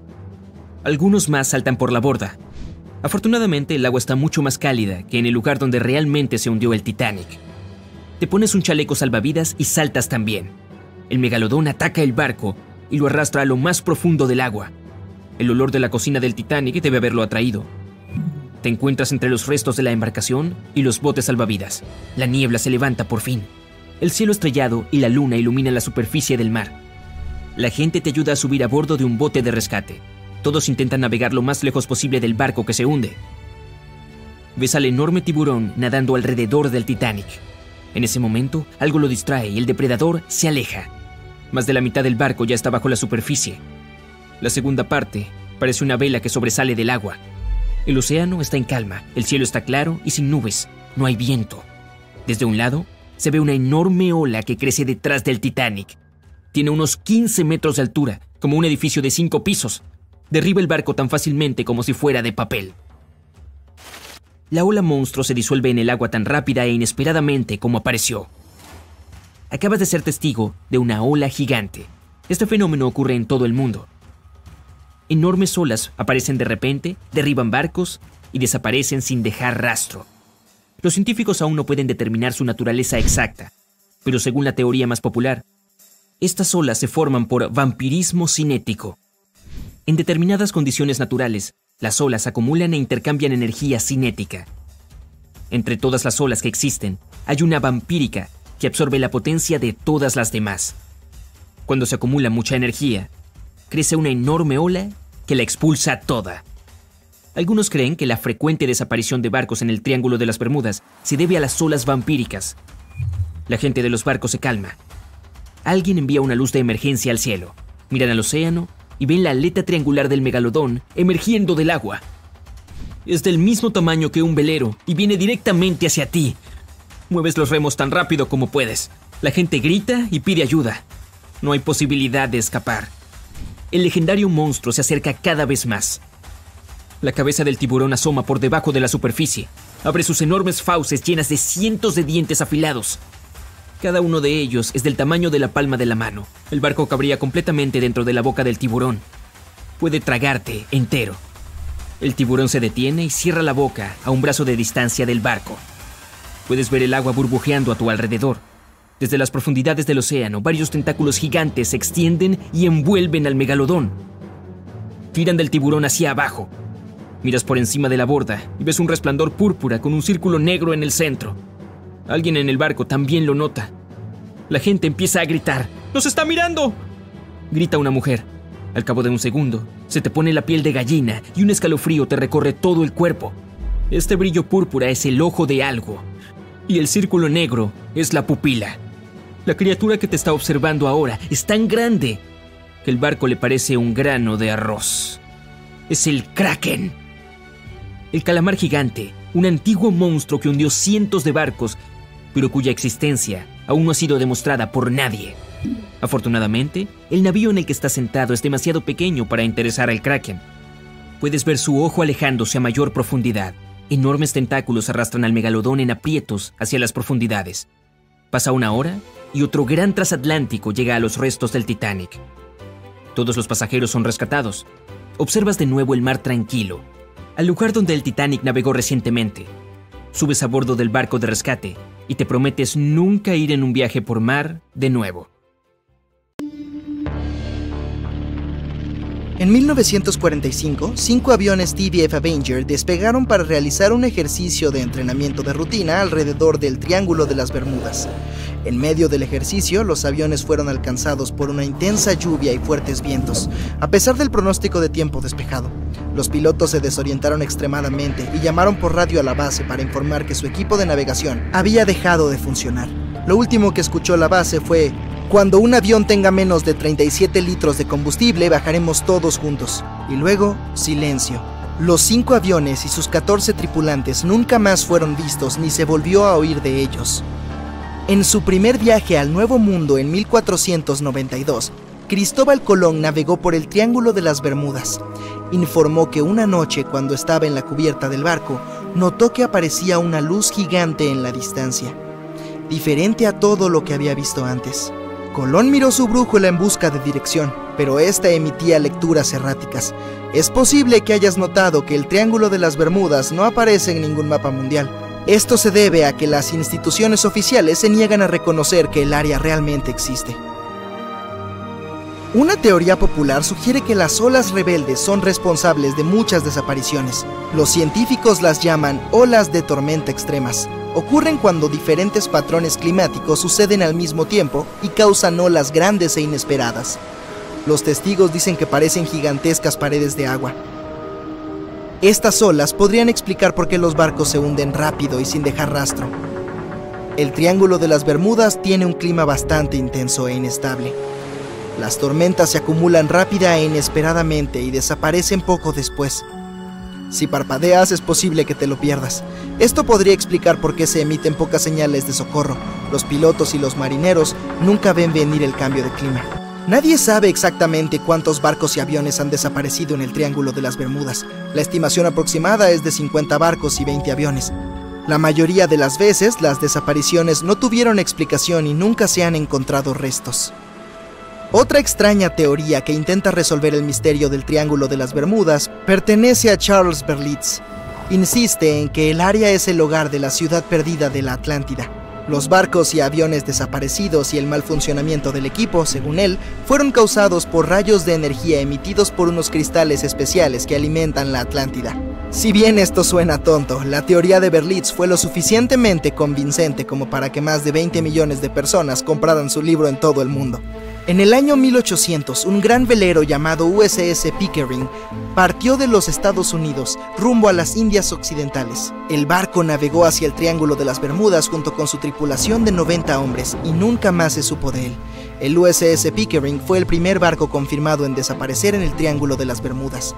Se cree que fue arrastrado por una tormenta, pero como nunca se encontraron restos, no podemos saberlo con seguridad. Cuando desaparecieron los aviones TBF Avengers, se llevó a cabo una operación de búsqueda masiva.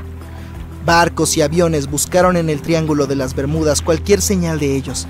Una de las naves que hacía la búsqueda era un hidrodeslizador PBM-5 Mariner. Partió a las 7.27 pm y envió un mensaje de radio de rutina tres minutos después. Nunca más se supo de él. No se encontraron rastros del hidrodeslizador de rescate ni de los cinco aviones Avenger se inició una gran investigación sobre la desaparición de todos estos vehículos, pero nunca se descubrió nada. Esta área particular del océano es una de las rutas marítimas más transitadas del mundo. Algunos escépticos creen que este hecho resuelve el misterio asociado a este lugar.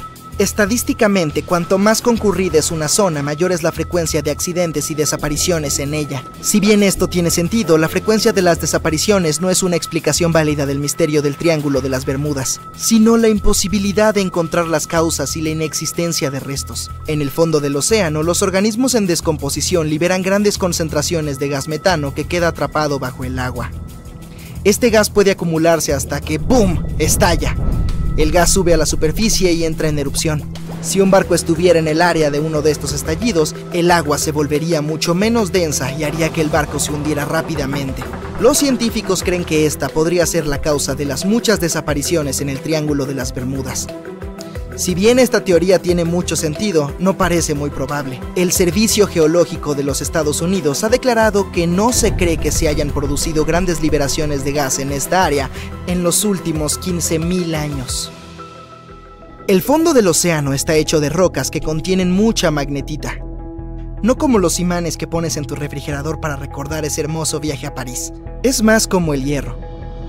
Los campos magnéticos reaccionan a la alta concentración de magnetita en el fondo del océano, lo que puede iniciar una especie de conflicto entre los dos. A menudo puede provocar diversas anomalías climáticas y como resultado problemas de navegación y naturalmente cualquier cambio en el fondo del océano o en los campos magnéticos de la Tierra influye mucho en el Triángulo de las Bermudas. Dado que el campo magnético se mueve constantemente, también podría estar llevándose el Triángulo de las Bermudas. Ahora que la gente sabe dónde está el triángulo, es fácil evitarlo. Supuestamente se mueve hacia el este junto con los polos magnéticos. Pero los científicos aún no pueden responder dónde estará exactamente en un par de años. Algunas personas culpan de todos los desastres a la actividad paranormal extraterrestre. Otros suponen que se trata de fenómenos naturales furiosos. Hay otro triángulo en el lago Michigan, al igual que el que está cerca de las Bermudas. El Triángulo de Michigan obtuvo su mala reputación por algunas desapariciones. La primera registrada data de 1679. Un barco grande, uno de los más grandes de la época, partió en una expedición, pero una vez que entró en el Triángulo Siniestro, nunca regresó. Mucho después, un avión desapareció en este triángulo. Los cielos suelen estar muy despejados ahí, pero en 1883 algunas personas presenciaron cosas anormales en el área. Afirman haber visto grandes bloques de hielo cayendo del cielo, y la tripulación incluso logró salvar uno como prueba contundente. Mientras tanto, un área misteriosa en el Océano Pacífico tiene otro triángulo siniestro. Frente a la costa sur de Japón, no muy lejos de Tokio, hay un mar donde muchos barcos conocieron su final. Desaparecieron sin dejar rastro. Lo llaman el Triángulo del Dragón. Algunos científicos creen que la causa de las anomalías son los cambios ambientales. También hay una concentración muy alta de hidratos de metano en el fondo del océano en el área del Triángulo del Pacífico. Te estás desviando de tu rumbo original, navegando en la dirección equivocada. El mar Caribe salpicado de pequeñas islas está cerca del triángulo. El lecho marino aquí no es profundo, así que ahora el barco está atascado en un bajío y no tienes idea de dónde estás. Si este fuera el siglo XXI, el capitán del barco podría llegar a la costa usando GPS y otra navegación moderna. Pero lo más interesante es que la brújula funcionaría correctamente esta vez, ya que el polo norte magnético hace tiempo que no coincide con el verdadero en el territorio del Triángulo de las Bermudas. La línea agónica está en algún lugar lejos de aquí. Hoy en día no hay problemas con la navegación, pero por alguna razón aquí es donde desaparecen los barcos. De hecho, no solo aquí, a lo largo del Océano Atlántico hay lugares donde desaparecieron muchos más. El Triángulo de las Bermudas ni siquiera está entre los primeros 10 de tales lugares. Una de las principales razones por las que muchos barcos se pierden aquí es que una de las rutas marítimas más populares del Atlántico pasa por el Triángulo de las Bermudas. Y cuantos más barcos hay en un lugar, más naufragios habrá. Es cuestión de simple probabilidad. Otras teorías dicen que hay una grieta espacio-temporal en esta región. Barcos y aviones caen en esta grieta y terminan en el pasado o en el futuro. Pero por alguna razón, no hay una sola prueba de este mito. No hay motivo para pensar que la grieta esté escondida en algún lugar de ahí. La base de una civilización extraterrestre se encuentra en el Triángulo de las Bermudas. Los visitantes de otras galaxias roban barcos junto con la tripulación para que nadie encuentre sus restos. Este también es un mito popular que no tiene justificación científica. El kraken vive en algún lugar del triángulo. Es un calamar enorme que hunde barcos y también es una leyenda que se cuentan los marineros. Sin embargo, los calamares gigantes viven en las profundidades del océano. Pueden crecer hasta el tamaño de medio vagón de tren, pero no se han registrado casos en los que hayan hundido una embarcación de gran tamaño y nunca se han visto en la zona del Triángulo de las Bermudas. En el pasado la gente no sabía de la existencia de estas criaturas, así que cuando las vieron por primera vez las describieron como monstruos enormes y terribles. Los calamares gigantes son una de las criaturas más escurridizas de la Tierra, y los científicos tuvieron que usar equipos de sonar para encontrarlos. No les gusta salir de las profundidades oscuras y es probable que teman el sonido de cualquier barco, así que eso debería eliminar al calamar como sospechoso. El Triángulo de las Bermudas es una de las rutas marítimas más transitadas del mundo. Algunos escépticos creen que este hecho resuelve el misterio asociado a este lugar. Estadísticamente, cuanto más concurrida es una zona, mayor es la frecuencia de accidentes y desapariciones en ella. Si bien esto tiene sentido, la frecuencia de las desapariciones no es una explicación válida del misterio del triángulo, sino la imposibilidad de encontrar las causas y la inexistencia de restos. En su primer viaje al Nuevo Mundo en 1492, Cristóbal Colón navegó por el Triángulo de las Bermudas. Informó que una noche, cuando estaba en la cubierta del barco, notó que aparecía una luz gigante en la distancia, diferente a todo lo que había visto antes. Colón observó su brújula en busca de dirección, pero esta emitía lecturas erráticas. Es posible que hayas notado que el Triángulo de las Bermudas no aparece en ningún mapa mundial. Esto se debe a que las instituciones oficiales se niegan a reconocer que el área realmente existe. Y nadie sabe exactamente cuántos barcos y aviones han desaparecido en el Triángulo de las Bermudas. La estimación aproximada es de 50 barcos y 20 aviones. La mayoría de las veces las desapariciones no tenían explicación y nunca se han encontrado restos. Cuando desaparecieron los aviones TBF Avenger, se llevó a cabo una operación de búsqueda masiva. Barcos y aviones buscaron en el Triángulo de las Bermudas cualquier señal de ellos. Una de las naves que hacía la búsqueda era un hidrodeslizador PBM-5 Mariner. Partió a las 7.27 pm y envió un mensaje de radio de rutina tres minutos después. Bueno, nunca más se supo de él. No se encontraron rastros del hidrodeslizador de rescate ni de los cinco aviones Avenger. Se inició una gran investigación sobre la desaparición de todos estos vehículos, pero nunca se descubrió nada. El Triángulo de las Bermudas tiene un clima bastante intenso e inestable. Las tormentas se acumulan rápida e inesperadamente y desaparecen poco después. Si parpadeas es posible que te lo pierdas, esto podría explicar por qué se emiten pocas señales de socorro. Los pilotos y marineros nunca ven venir el cambio del clima. Una teoría popular sugiere que las olas rebeldes son responsables de muchas desapariciones. Los científicos las llaman olas de tormenta extremas. Ocurren cuando diferentes patrones climáticos suceden al mismo tiempo y causan olas grandes e inesperadas que alcanzan hasta 30 metros de altura. Los testigos dicen que parecen gigantescas paredes de agua, estas olas podrían explicar por qué los barcos se hunden rápido y sin dejar rastro. Justo frente a la costa de Japón encontrarás el Triángulo de las Bermudas del Océano Pacífico. Lo llaman el Triángulo del Dragón. Entre 1950 y 1954, nueve barcos desaparecieron en esta zona sin dejar rastro. El barco Kaio Maru 5 fue enviado para investigar estas desapariciones inexplicables, cuando también desapareció. Después de este incidente, las autoridades japonesas calificaron el área como zona de peligro y recomendaron a los navegantes evitarla. Algunas personas culpan de todos los desastres a la actividad paranormal extraterrestre. Otros suponen que se trata de fenómenos naturales furiosos. Algunos científicos creen que la causa de las anomalías son los cambios ambientales hay una concentración muy alta de hidratos de metano en el fondo del océano, en el área de las Bermudas del Pacífico. Este gas tiende a explotar y cuando sucede, comienzan a formarse burbujas en la superficie del agua. Estas erupciones de gas pueden suprimir la capacidad de flotar y hundir fácilmente un barco. Debido a esta reacción química, no quedará ni rastro. Se dice que los volcanes submarinos son otra posible explicación para el Triángulo del Dragón japonés, de hecho, hasta pueden derribar islas pequeñas. Afortunadamente, nadie vive allí.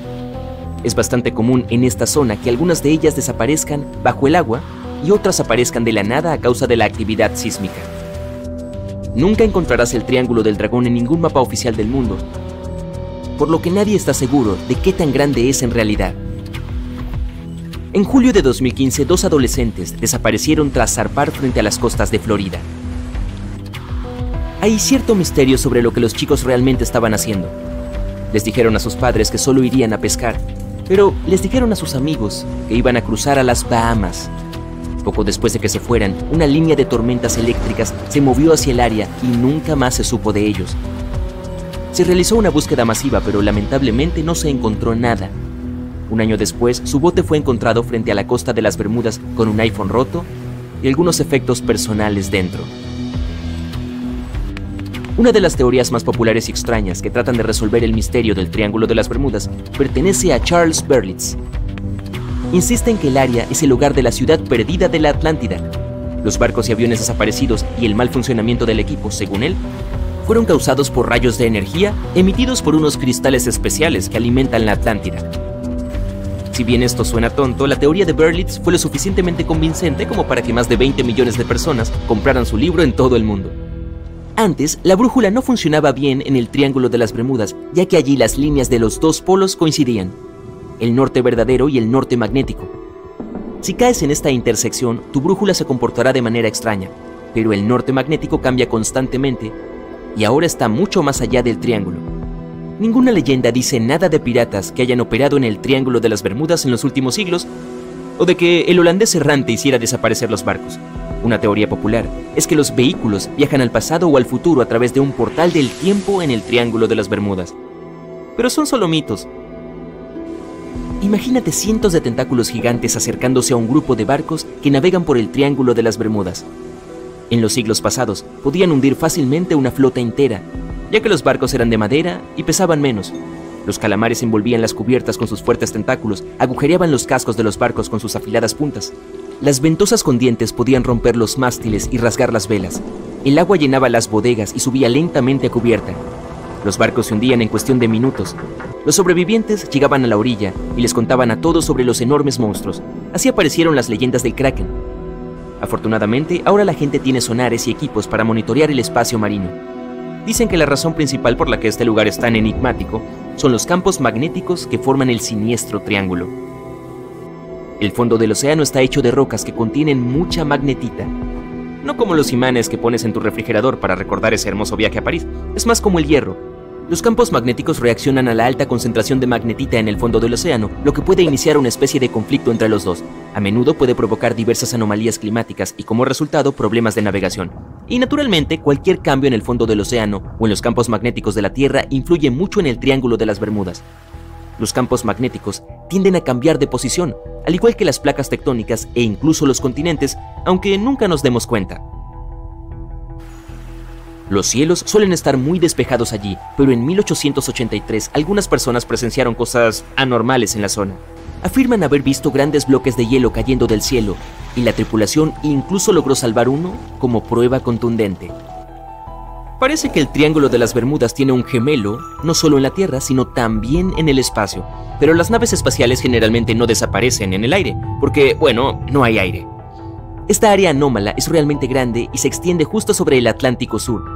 Ocupa el área desde Chile hasta Zimbabue y se asienta justo en el punto donde los cinturones de radiación de Van Allen están más cerca de la superficie de nuestro planeta.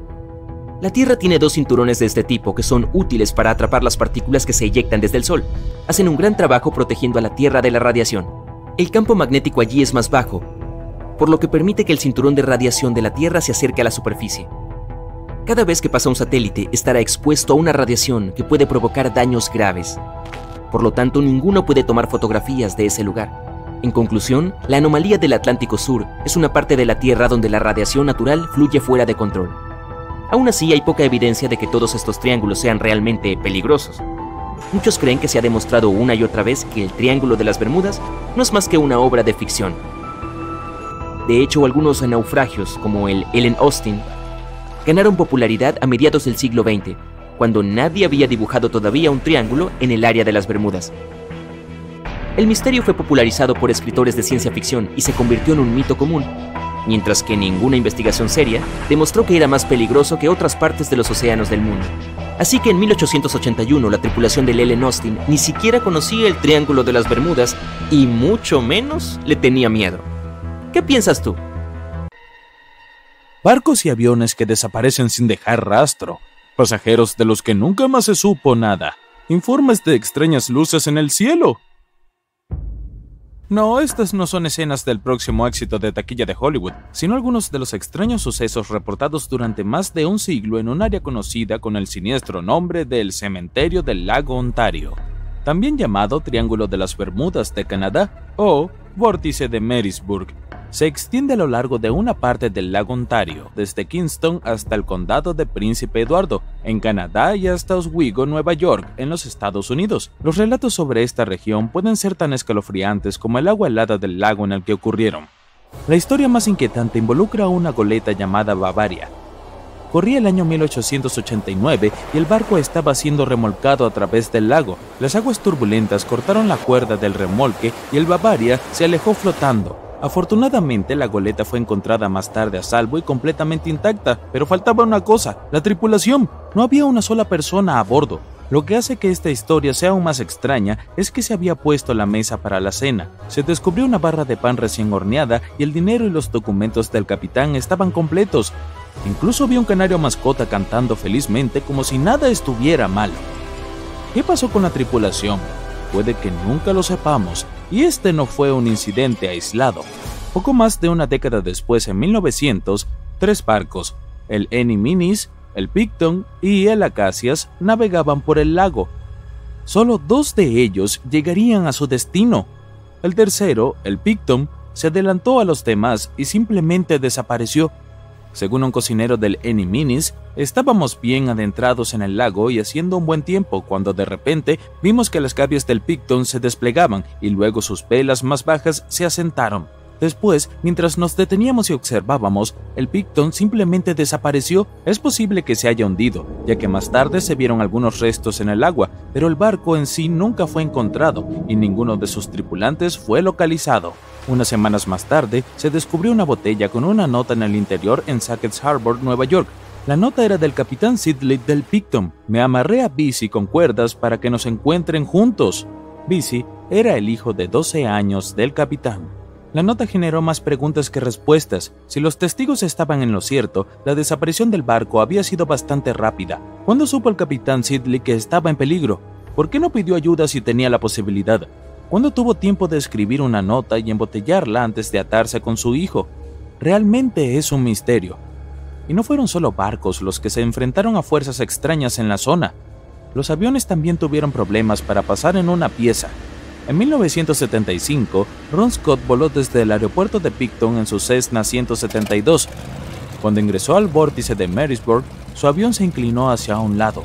Durante varios segundos no lograba enderezar el avión, pero una vez que lo hizo, la misma fuerza lo empujó hacia el otro lado.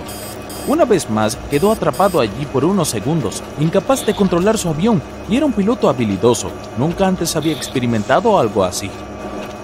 Ciertamente tuvo más suerte que el piloto de la Real Fuerza Aérea Canadiense Barry Allen Newman. Newman estaba en el mismo lugar en 1952 cuando perdió el control de su avión y se cayó al lago. Hasta el día de hoy, su cuerpo no ha sido encontrado. En total, más de 270 barcos y al menos 40 aviones han tenido un final trágico en la zona. Para agregar al misterio, hay gente que informa haber visto una serie de luces u orbes brillantes o un barco oscuro flotando en el cielo. Estos son fenómenos aún más difíciles de explicar. Los testigos insisten en que todo es verdad.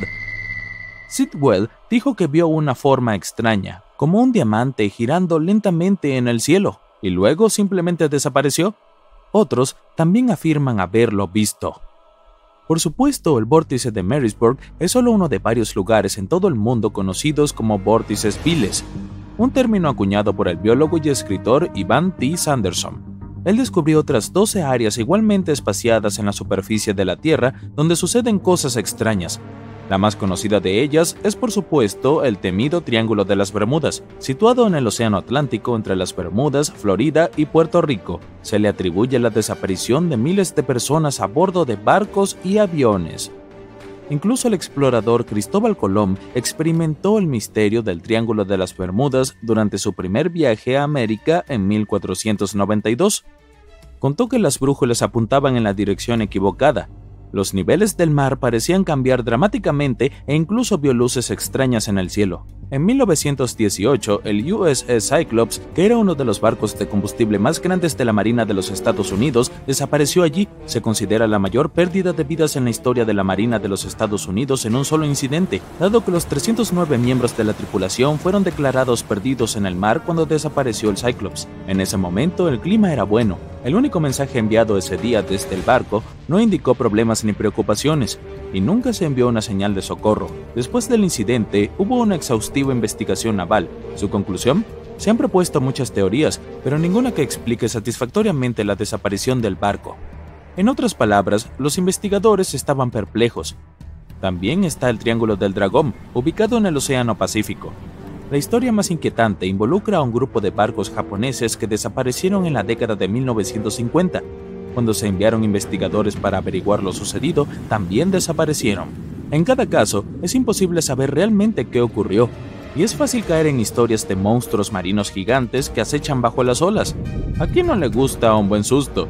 Y Sanderson estaba dispuesto a aceptar la posibilidad de que esas historias fueran ciertas.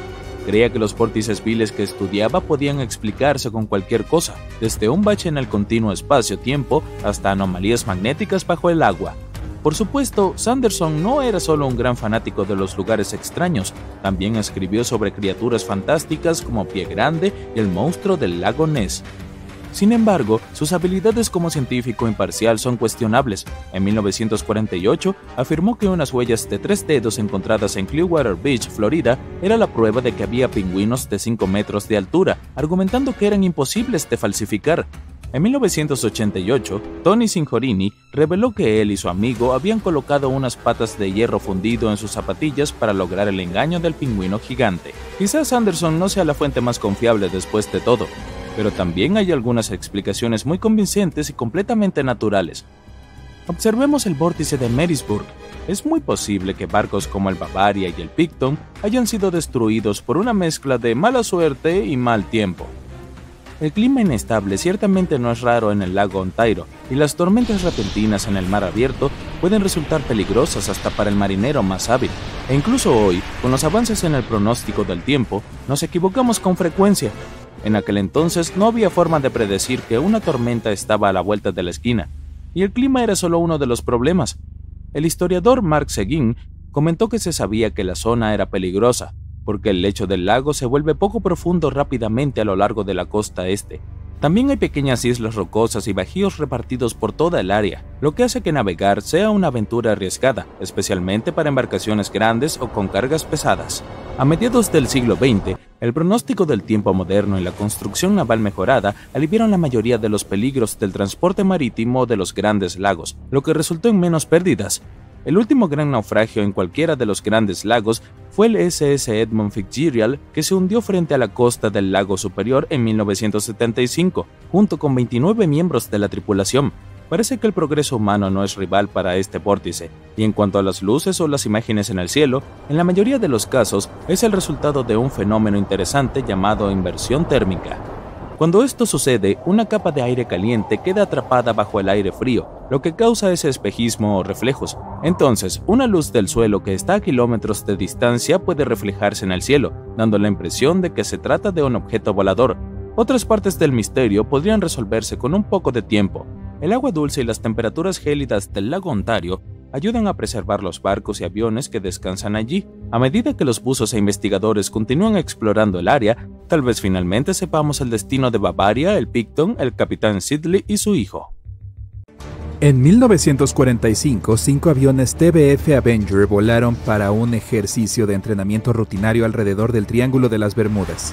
En medio de este, los aviones se vieron afectados por una intensa lluvia y fuertes vientos a pesar de la previsión de tiempo despejado. Los pilotos se desorientaron extremadamente y comunicaron por radio a la base que su equipo de navegación había dejado de funcionar. Lo último que se escuchó en la base fue, cuando el primer avión descienda por debajo de 10 galones, caeremos todos juntos. Y luego, estática. Los cinco aviones y sus 14 pasajeros no se volvieron a ver ni se supo nada de ellos. En su primer viaje al Nuevo Mundo en 1492, Cristóbal Colón navegó a través del Triángulo de las Bermudas. Él informó que una noche, cuando estaba en la cubierta del barco, notó que apareció una luz gigante en la distancia, diferente a todo lo que había visto antes. Colón miró su brújula para orientarse y ésta dio lecturas erráticas. Quizá hayas notado que el Triángulo de las Bermudas no aparece en ningún mapa del mundo. Esto se debe a que las instituciones oficiales se niegan a reconocer que la zona existe realmente. En marzo de 1918, con una tripulación de 306 personas, el USS Cyclops partió de Barbados y se dirigió a Baltimore. El barco pasó por el Triángulo de las Bermudas en su viaje y nunca más fue visto. El Cyclops nunca emitió ninguna señal de socorro y desapareció sin ninguna explicación, convirtiéndose en el mayor navío desaparecido en el lugar. Nunca se han encontrado los restos del barco. Nadie sabe exactamente cuántos barcos y aviones han desaparecido en el Triángulo de las Bermudas. La estimación aproximada es de 50 barcos y 20 aviones. La mayoría de las veces las desapariciones no tienen explicación y nunca se han encontrado restos. En el año 1800 un gran velero llamado USS Pickering partió de Estados Unidos rumbo a las Indias Occidentales. El barco se adentró en el Triángulo de las Bermudas junto a su tripulación de 90 hombres y nunca más se supo de él. El USS Pickering fue el primer navío confirmado que desapareció en el Triángulo de las Bermudas. Se cree que el barco fue arrastrado por una tormenta, pero como nunca se encontraron los restos, jamás lo sabremos con certeza. La famosa obra de William Shakespeare, La Tempestad, se inspiró en el Triángulo de las Bermudas. Los marineros regresaban a Inglaterra para contar historias de aguas traicioneras cerca de las Bahamas, donde los barcos desaparecían misteriosamente. Estas historias llegaron al propio Bardo e inspiraron su última obra sobre una tormenta en el mar que transporta un barco a una tierra misteriosa. El naufragio de la obra de Shakespeare se basa en el barco del siglo XVII, Sea Venture. El navío transportaba suministros de Inglaterra a Virginia cuando se encontró con una enorme tormenta en el Triángulo de las Bermudas. El Sea Venture fue golpeado por la tormenta durante tres días y apenas llegó a la costa. Los supervivientes del naufragio quedaron varados en una zona desolada de las Bermudas durante nueve meses. Cuando los aviones TBF Avenger desaparecieron, se llevó a cabo una operación de búsqueda masiva. Barcos y aviones buscaron en el Triángulo de las Bermudas cualquier señal de estos. Una de las embarcaciones buscando era un hidroavión PBM-5 Mariner. Este levantó el vuelo a las 7.27 pm y emitió un mensaje de radio rutinario tres minutos después. Después no se volvió a saber nada de él. Nunca se encontró ningún rastro del hidroavión de rescate ni de los cinco aviones Avenger. Se inició una amplia investigación sobre la desaparición de todos estos vehículos, pero nunca se descubrió nada. Debido a que el Triángulo de las Bermudas no es un lugar reconocido, nadie sabe su ubicación exacta ni su tamaño. Algunos creen que cubre alrededor de 1,3 millones de kilómetros cuadrados alrededor del área de las Bermudas. Otros creen que el triángulo es tan grande como 3,9 millones de kilómetros cuadrados. El Triángulo de las Bermudas es una de las rutas marítimas más transitadas del mundo. Algunos escépticos creen que este hecho resuelve el misterio del lugar. Estadísticamente, cuanto más transitada es la zona, mayor es la frecuencia de accidentes y desapariciones. Aunque esto tiene sentido, no es la frecuencia de las desapariciones la responsable del misterio del Triángulo de las Bermudas, sino la falta de explicaciones o restos encontrados. El Triángulo de las Bermudas alberga el punto más profundo del Océano Atlántico, la Depresión de Milwaukee. La zona tiene una profundidad máxima de más de 8.200 metros. Se trata de uno de los puntos más profundos del fondo del océano, pero no se acerca a los enormes 10.700 metros de la fosa de las Marianas pero la enorme profundidad podría explicar cómo han sido encontrados tan pocos restos. El Triángulo de las Bermudas alberga un clima bastante intenso e inesperado. Las tormentas se acumulan en forma rápida y repentina y desaparecen poco después. Si parpadeas puede que te lo pierdas. Esto podría explicar por qué se emiten pocas señales de socorro. Los pilotos y marineros nunca vieron venir el tiempo. En el año 1800 nuevamente el buque USS Insurgent estaba de patrulla cuando se detuvo brevemente en una base costera antes de volver al mar. Esta fue la última vez que se vio al navío. Al parecer una fuerte tormenta azotó las Indias Occidentales por aquella época. Se cree que esta tormenta fue tan poderosa que podría haber causado el hundimiento del USS Insurgent y del USS Pickering que desaparecieron más o menos al mismo tiempo. Al igual que el Pickering, nunca se descubrieron los restos del Insurgent. Una teoría popular sugiere que las olas gigantes son las responsables de las numerosas desapariciones. Los científicos las llaman olas de tormenta extremas, se producen cuando diferentes patrones meteorológicos tienen lugar al mismo tiempo y causan grandes e inesperadas olas que alcanzan hasta 30 metros de altura. Los testigos dicen que las olas parecen muros gigantes de agua.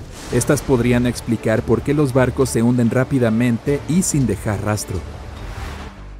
Joshua Slocum era un marinero de gran talento. Fue la primera persona que navegó sin ayuda alrededor del mundo pero lamentablemente no fue rival para el Triángulo de las Bermudas. En noviembre de 1909, Slocum se despidió de su esposa y emprendió uno de sus habituales viajes de invierno a las Indias Occidentales.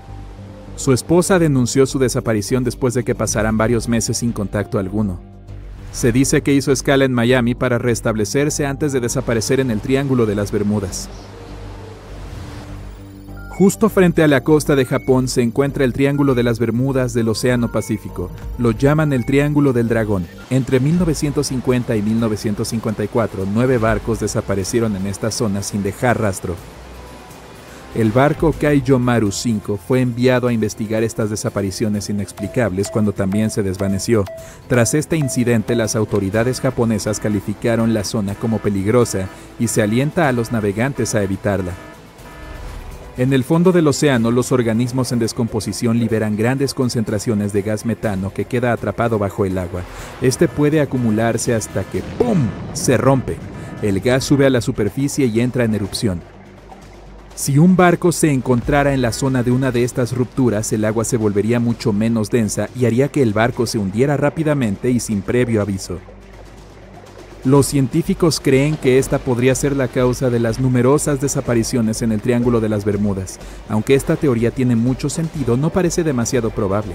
El Servicio Geológico de los Estados Unidos ha declarado que no se cree que se hayan producido grandes emisiones de gas en el Triángulo de las Bermudas en los últimos 15.000 años.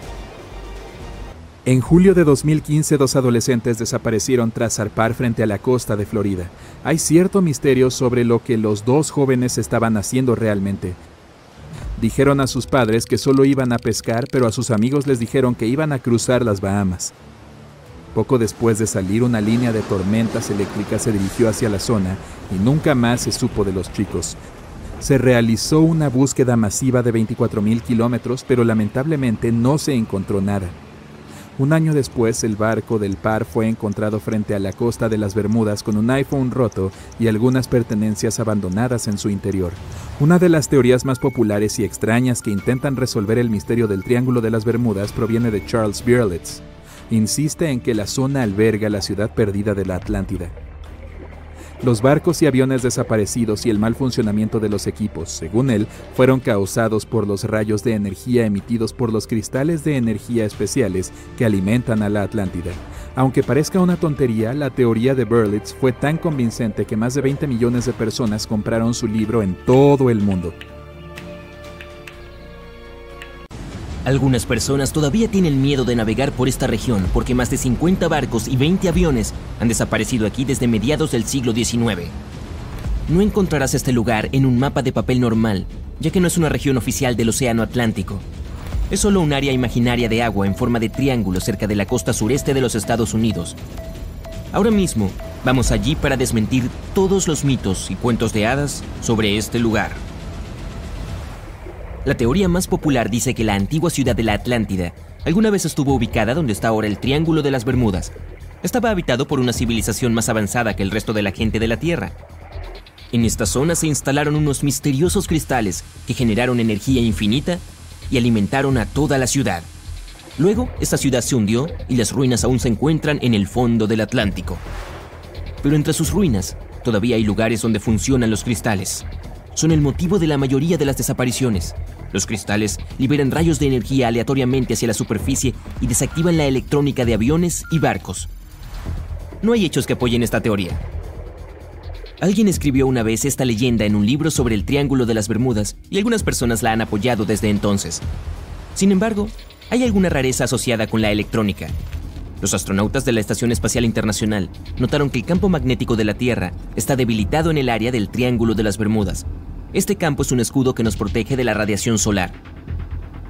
Por encima del triángulo, las partículas de los rayos del Sol se mueven más rápido que en cualquier otra parte del planeta. Esto provoca un funcionamiento inestable de la electrónica de los satélites que vuelan en la atmósfera de la Tierra.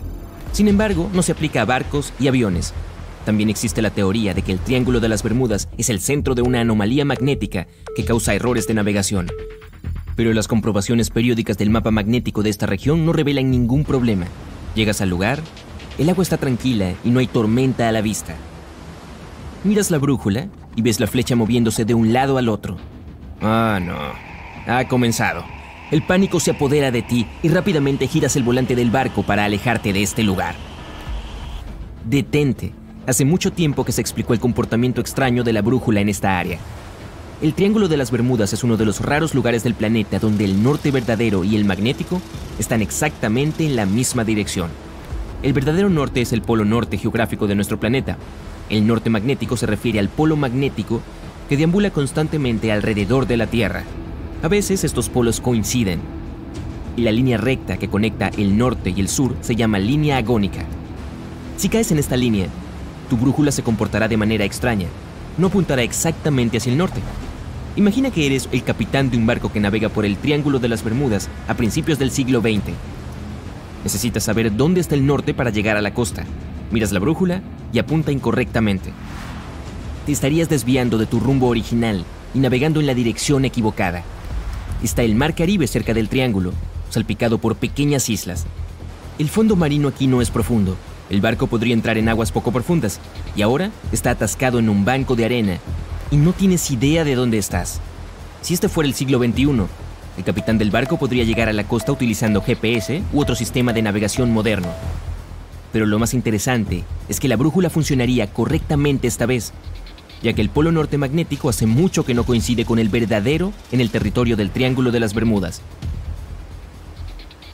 La línea agónica está en algún lugar muy lejos de aquí. Ahora, no hay problemas con la navegación, pero por alguna razón, aquí es donde desaparecen los barcos. De hecho, no solo aquí. A lo largo del Océano Atlántico, hay lugares donde se han perdido muchos más barcos. El Triángulo de las Bermudas ni siquiera se encuentra en el top 10 de esos lugares. Una de las principales razones por las que se pierden muchos barcos aquí es que una de las rutas marítimas más populares del Atlántico pasa por el Triángulo de las Bermudas, y cuantos más barcos hayan en un solo lugar, más naufragios, simple probabilidad. Otras teorías dicen que hay una brecha espacio-temporal en esta región. Los barcos y los aviones caen en esta grieta y terminan en el pasado o en el futuro. Pero por alguna razón, no hay una sola prueba de este mito. No hay razón para pensar que la grieta esté oculta en algún lugar aquí. La base de una civilización extraterrestre se encuentra en el Triángulo de las Bermudas. Los visitantes de otras galaxias roban embarcaciones junto con la tripulación. por lo que nadie encuentra los restos de las naves. Este también es un mito popular que no tiene justificación científica. Los barcos hundidos no se encuentran aquí porque hay una de las fosas más profundas del mundo. Cualquier barco que se hunda lo hará a una profundidad de cerca de 5.800 metros. La enorme presión y la distancia dificultan la ubicación de los barcos. Además, la fosa de Puerto Rico está cerca. En algunos lugares tiene una profundidad de hasta 8.000 metros. El kraken vive en algún lugar del triángulo. Es un calamar enorme que hunde barcos. También es una leyenda que cuentan los marineros. Sin embargo, los calamares gigantes viven en las profundidades del océano. Pueden crecer hasta el tamaño de la mitad de un vagón de tren, pero no se han registrado casos en los que hayan hundido un barco grande. Y en el área del Triángulo de las Bermudas, ni siquiera se los ha visto. La gente en el pasado no sabía sobre la existencia de estas criaturas, así que cuando las vieron por primera vez, los describieron como monstruos enormes y terribles, los calamares gigantes son algunas de las criaturas más esquivas de la Tierra y los científicos tuvieron que usar equipos de sonar para encontrarlos. No les gusta salir de las profundidades y es probable que tengan miedo del sonido de cualquier barco.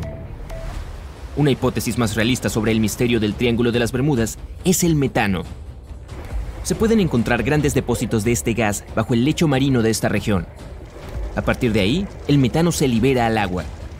Toma la forma de enormes burbujas que rápidamente suben a la superficie Luego, el gas hace que el agua casi hierva, creando olas que hunden barcos. La teoría es bastante realista, pero numerosos estudios aún no han confirmado la presencia de una mayor concentración de metano en la región. La última vez que ocurrió este fenómeno fue hace 15.000 años. Otra teoría increíble implica la aparición de olas rebeldes. Imagina un mar claro y tranquilo, sin viento. De repente escuchas un fuerte zumbido. En solo unos segundos, una ola enorme de 30 metros de altura aparece desde la tranquila superficie y cae sobre tu barco. Algunos científicos creen que las olas rebeldes son creadas por una corriente marina superficial que choca con un fuerte viento en contra. Hay una versión que afirma que la ola nace debido a la colisión de corrientes cálidas y frías. Pero la teoría más interesante dice que las ondas están formadas por vampirismo cinético. En determinadas condiciones naturales, las olas pueden intercambiar energía cinética y entre todas las olas habrá una, el vampiro, que se lleve la energía de todas las demás. Cuando acumula suficiente energía, la ola vampiro la derrama. Esto explica la fuerza del impacto y su repentina desaparición. Este fenómeno se observa en todas las aguas de los océanos del mundo, pero no hay evidencia de que ocurra con mayor frecuencia en el Triángulo de las Bermudas. Si aparecieron olas rebeldes allí, no fue durante un periodo de calma. Un mar inquieto es el principal motivo de la desaparición de barcos en el Triángulo de las Bermudas. Las tormentas severas y los huracanes son frecuentes allí. Ocurre porque las Islas Bermudas son un área de alta presión que desvía las tormentas hacia el triángulo. Las enormes olas simplemente derriban los barcos y los truenos y relámpagos desactivan la electrónica de los aviones. No hay nada de misterioso en esto. Las tormentas y las desapariciones de barcos ocurren en todos los océanos, pero se hicieron muchas leyendas exactamente sobre el Triángulo de las Bermudas. Todo comenzó a mediados del siglo XX, cuando se publicó un libro que nos dice que la Atlántida se encuentra en las aguas del Triángulo. No se dio ninguna prueba, pero a la gente le gustó tanto esta teoría misteriosa que comenzaron a construir sobre ella. Empezaron a hacer documentales al respecto, a escribir libros nuevos. Cada material dedicado a la naturaleza fantástica del Triángulo no se basó en hechos, sino en las teorías de otros libros y películas. Y cuando un tema es popular, puedes ganar dinero con él. Los lectores lo disfrutan y los autores son recompensados. Ah, hola. Hoy emprenderás un viaje a lo largo del mundo. Y si bien Phileas Fogg, eh, ya sabes, el del libro de Julio Verne, pudo completar su recorrido en solo 80 días, no puedo prometer que tú regresarás a salvo. Sucede que el mundo actual está lleno de anomalías desconocidas, solían registrarse solo en el Triángulo de las Bermudas, pero ahora aparecen en todas partes.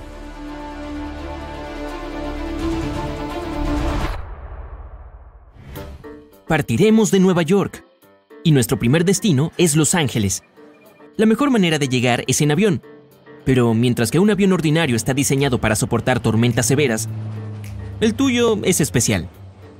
Tu águila de acero tiene un revestimiento extra fuerte un tanque de combustible más grande y una cápsula de rescate que asegurará tu supervivencia en caso de emergencia. Muy bien, despegas con un cielo despejado, nubes blancas, un sol brillante y nada de turbulencia. De pronto, la paz es interrumpida por vientos fuertes, nubes negras y relámpagos. Una de las nubes se ve particularmente siniestra. Parece tener vida propia. Y se hace cada vez más grande. No tienes elección. Deberás volar a través de ella. Respiras profundo. En cuanto entras, te sumerges en una oscuridad absoluta. Solo puedes ver unos destellos blancos que iluminan las nubes negras por momentos, pero que no son rayos. La turbulencia está aumentando y apenas puedes sostener los controles en tus manos. De pronto, la nube comienza a cambiar de forma.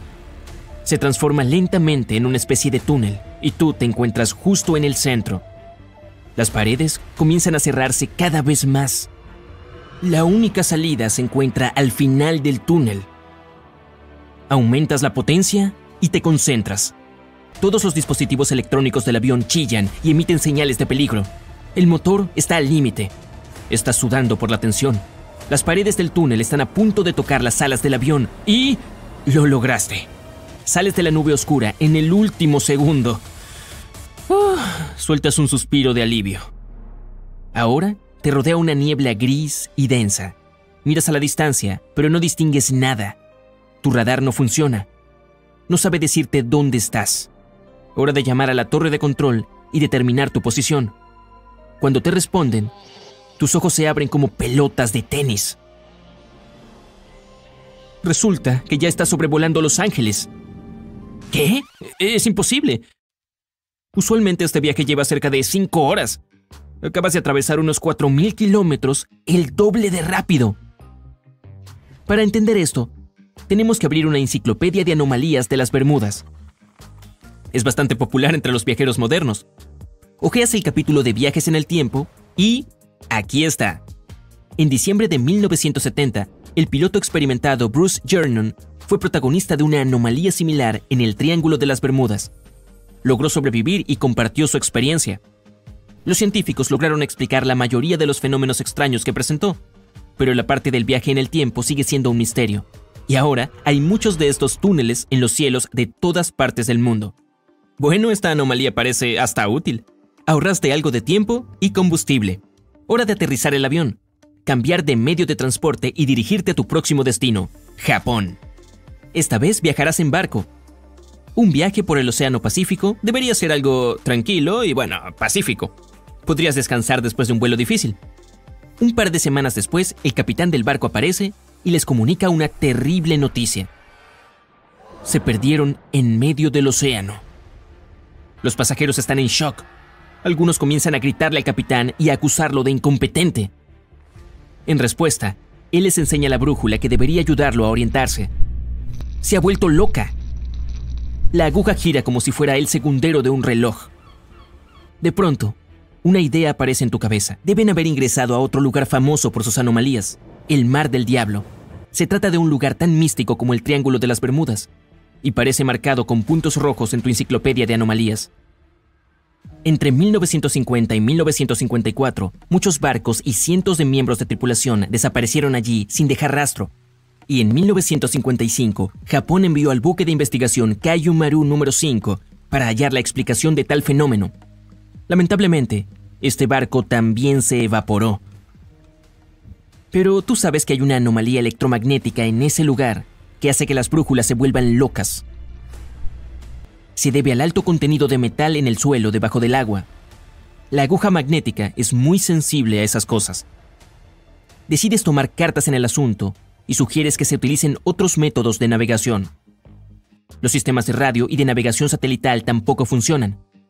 Llevas los ojos al cielo y observas el sol. El atardecer es hacia el oeste y tienen que viajar precisamente en esa dirección. En poco tiempo, pisas por fin suelo firme llegaste a Japón. Compras unos recuerdos y vas al aeropuerto. Esta vez te diriges a la costa este de la India. Tu vuelo marcha a la perfección, no hay turbulencia y los instrumentos del avión funcionan sin problemas. Miras al cielo nocturno a través de la ventana y de pronto ves una luz extraña. Es pequeña y se mueve hacia arriba y hacia abajo. Los demás pasajeros ni siquiera le prestan atención. Para ellos es algo normal. Abres tu enciclopedia y minutos después descubres que la primera persona que descubrió esta anomalía fue Cristóbal Colón. Dijo que era como una vela que se movía hacia arriba. También afirmó que una llama había sido expulsada del mar repentinamente. Todo sucedió mientras navegaba hacia la zona del Triángulo de las Bermudas durante su primer viaje al Nuevo Mundo. Pero ahora, esas luces son algo normal a lo largo del planeta. En la India, compras un boleto para un crucero transatlántico que se dirige a Florida. Este recorrido es popular entre los turistas, ya que atraviesa varias anomalías interesantes. Se trata de algo más bien turístico. El primero de estos destinos es un barco fantasma. Tardan varias semanas en encontrarlo. Cada vez que el crucero se acerca a él, una niebla espesa cubre las aguas. Los turistas se amontonan en las plataformas de observación y buscan el mástil del barco a la distancia, pero aparece y desaparece como una aleta de tiburón. Por fin logran acercarse. Sin embargo, se les pide a todos que se queden a bordo del transatlántico y que no intenten abordar el barco fantasma. Todos los turistas conocen la triste historia de la primera vez que este barco fue hallado. En 1880, el navío Ellen Austin dio con una goleta a la deriva en medio de una niebla espesa. El capitán envió a un grupo de personas a inspeccionarla y encontraron un cargamento valioso y pertenencias personales de la tripulación. Pero no había rastros de las personas. Era como si toda la tripulación hubiera desaparecido. Entonces el capitán decidió remolcar el barco fantasma al puerto para vender su cargamento. Pero en cuanto dieron inicio a su viaje, una fuerte tormenta separó a las dos embarcaciones y la goleta fantasma desapareció. Pasaron días buscándola. Cuando por fin volvieron a encontrarla, descubrieron que la tripulación provisoria había desaparecido, lo mismo que le había sucedido a la anterior. Bien, tu viaje continúa, y poco después entran al punto más misterioso del planeta, el mismísimo Triángulo de las Bermudas. Se lo considera el lugar de nacimiento de las anomalías. Todos los turistas se agolpan en un costado del barco. Están mirando algo que parece un baño de burbujas gigante. El capitán hace un anuncio. Todo tipo de fuego está estrictamente prohibido aquí. Sucede que la anomalía es una fuente de gas natural. Las burbujas de metano son expulsadas de la corteza terrestre y se elevan hasta la superficie. Estos depósitos son responsables de la pérdida de muchos barcos. Por supuesto, si enciendes un cerillo cerca de esas burbujas, eh, bueno, kaboom. El último tramo del viaje desde Florida hasta Nueva York será muy intenso. Hay muchos cambios climáticos extremos en esta región. De momento, el sol brilla y no hay nada de viento. Pero en solo un segundo se desata una fuerte tormenta. Hay relámpagos literalmente cada segundo, y el cielo está completamente cubierto de nubes negras. Un minuto después, los rayos del sol dispersan las nubes y la tormenta se termina. Se trata de otra anomalía provocada por la corriente del Golfo. Masas enormes de aire cálido se encuentran con otras de aire frío, lo que genera cambios climáticos instantáneos y tormentas violentas. Muchos pilotos y marineros no estaban listos para estas condiciones. Barcos y tripulaciones enteras desaparecieron sin dejar rastro. Pero, ahora que esas anomalías están por todas partes, han sido estudiadas y no hay que temerles. Llegas a casa sano y salvo. Puedes presumir que has sido testigo de las anomalías más brutales del Triángulo de las Bermudas. Pero por favor, ¿podrías quitarte esas bermudas? No es gracioso. Gracias. En el Océano Atlántico Norte, el infame Triángulo de las Bermudas hace que personas, barcos y aviones se desvanezcan en el aire. Algunos expertos culpan a las malas condiciones climáticas. Otros están convencidos de que las razones son el tráfico congestionado de la zona y el error humano. Muchos creen en teorías conspirativas, alienígenas, la ciudad perdida de la Atlántida o incluso un enorme meteorito que descansa en el fondo del mar. También están los que niegan que haya algo inusual en el triángulo, y sin embargo el misterio perdura en el tiempo. Pero pocos saben que el Océano Atlántico Sur tiene su propio enigma. Bueno, no el océano en sí, sino un sector del espacio por encima de esta zona. Se le conoce como el Triángulo de las Bermudas del Espacio o la anomalía del Atlántico Sur. Ahí la protección de la Tierra contra la radiación solar es mucho más débil que en cualquier otro lugar. Cuando las naves espaciales llegan a este punto sufren todo tipo de problemas serios. Por ejemplo, su equipo puede fallar o descomponerse repentinamente, cuando en julio de 2020 la NASA se propuso a lanzar el rover Perseverance de 2.500 millones de dólares, los ingenieros tuvieron que trabajar duro para evitar el Triángulo de las Bermudas espacial. De otra forma, podría haber causado estragos fácilmente a la nave espacial que se dirigía a Marte. Esta extraña región se extiende desde Zimbabue hasta Chile. La anomalía en sí parece estar conectada con uno de los dos cinturones de radiación de Van Allen. Se trata de zonas de una intensa radiación proveniente de los vientos solares.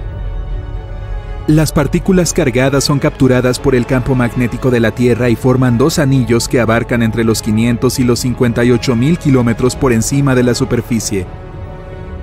El cinturón interior de Van Allen se compone mayormente de protones y el exterior de electrones. Al atrapar las partículas, los dos cinturones protegen a nuestro planeta y a ti de la radiación solar. La anomalía del Atlántico Sur se ubica en la región donde el cinturón interior de Van Allen se aproxima a la superficie terrestre. En este lugar el campo magnético es especialmente débil. Nada evita que los rayos cósmicos alcancen los 200 kilómetros por encima de la superficie. Mientras más radiación solar haya, más partículas de alta energía se acumularán encima del Atlántico Sur. El problema es que este cúmulo de radiación se acerca tanto a nosotros que muchos satélites tienen que atravesarlo en el curso de sus órbitas. Ahí son bombardeados por protones, 3.000 impactos por centímetro cuadrado cada segundo, no es sorpresa que esto afecte todos los sistemas electrónicos de los satélites. Por ejemplo, el telescopio Hubble pasa por el Triángulo de las Bermudas espacial más de 10 veces al día y no puede recolectar información cuando se encuentra en ese punto. Si el equipamiento no entra en modo seguro, todos los sistemas pueden llegar a fallar. Además, mientras más complejos son los aparatos, más problemas aparecen en la zona de la anomalía del Atlántico Sur y más costosos resultan los daños. La nave espacial SpaceX CRS-1 Dragon estuvo a punto de perder el control en octubre de 2012. Estando unida a la Estación Espacial Internacional, experimentó serios problemas mientras atravesaba la anomalía magnética. Afortunadamente, esos problemas se resolvieron en poco tiempo. En marzo de 2016, la Agencia Japonesa de Exploración Aeroespacial perdió el contacto con el satélite Hitomi. Fue enviado alrededor de un mes a estudiar procesos que tenían lugar en el universo. Más tarde se descubrió que se había desmantelado y estrellado contra la Tierra. Uno de los sensores de movimiento percibió que el satélite estaba rotando, cuando en realidad se encontraba estable. Como el sistema de control intentó evitar los giros indeseados e inexistentes, el satélite se desarmó. Este accidente costó casi 280 millones de dólares y tres años de preparación. Pero regresemos al campo magnético terrestre. ¿Por qué es más débil sobre el Océano Atlántico Sur? Lejos de ser una esfera perfecta, nuestro planeta está achatado en los polos. Si midieras el diámetro de la Tierra en el Ecuador, sería 43 kilómetros más ancho que el diámetro que pasa por los polos. En las partes donde hay un achatamiento, las partículas cargadas del espacio pueden acercarse a la superficie de nuestro planeta. El campo magnético se crea cuando los metales líquidos fluyen en el núcleo interno de la Tierra. Esto produce corrientes eléctricas, por un lado y los polos norte y sur por el otro, pero esos polos no son constantes. El campo magnético de nuestro planeta cambia todo el tiempo. A veces se debilita y en otras ocasiones se hace más fuerte.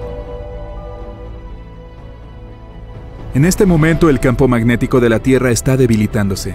Este proceso comenzó hace más de mil años. Los científicos no descartan que algún día los polos de la Tierra se inviertan si eso sucede, el polo norte se transformará en el polo sur y viceversa. Este fenómeno ha ocurrido varias veces en la historia de nuestro planeta.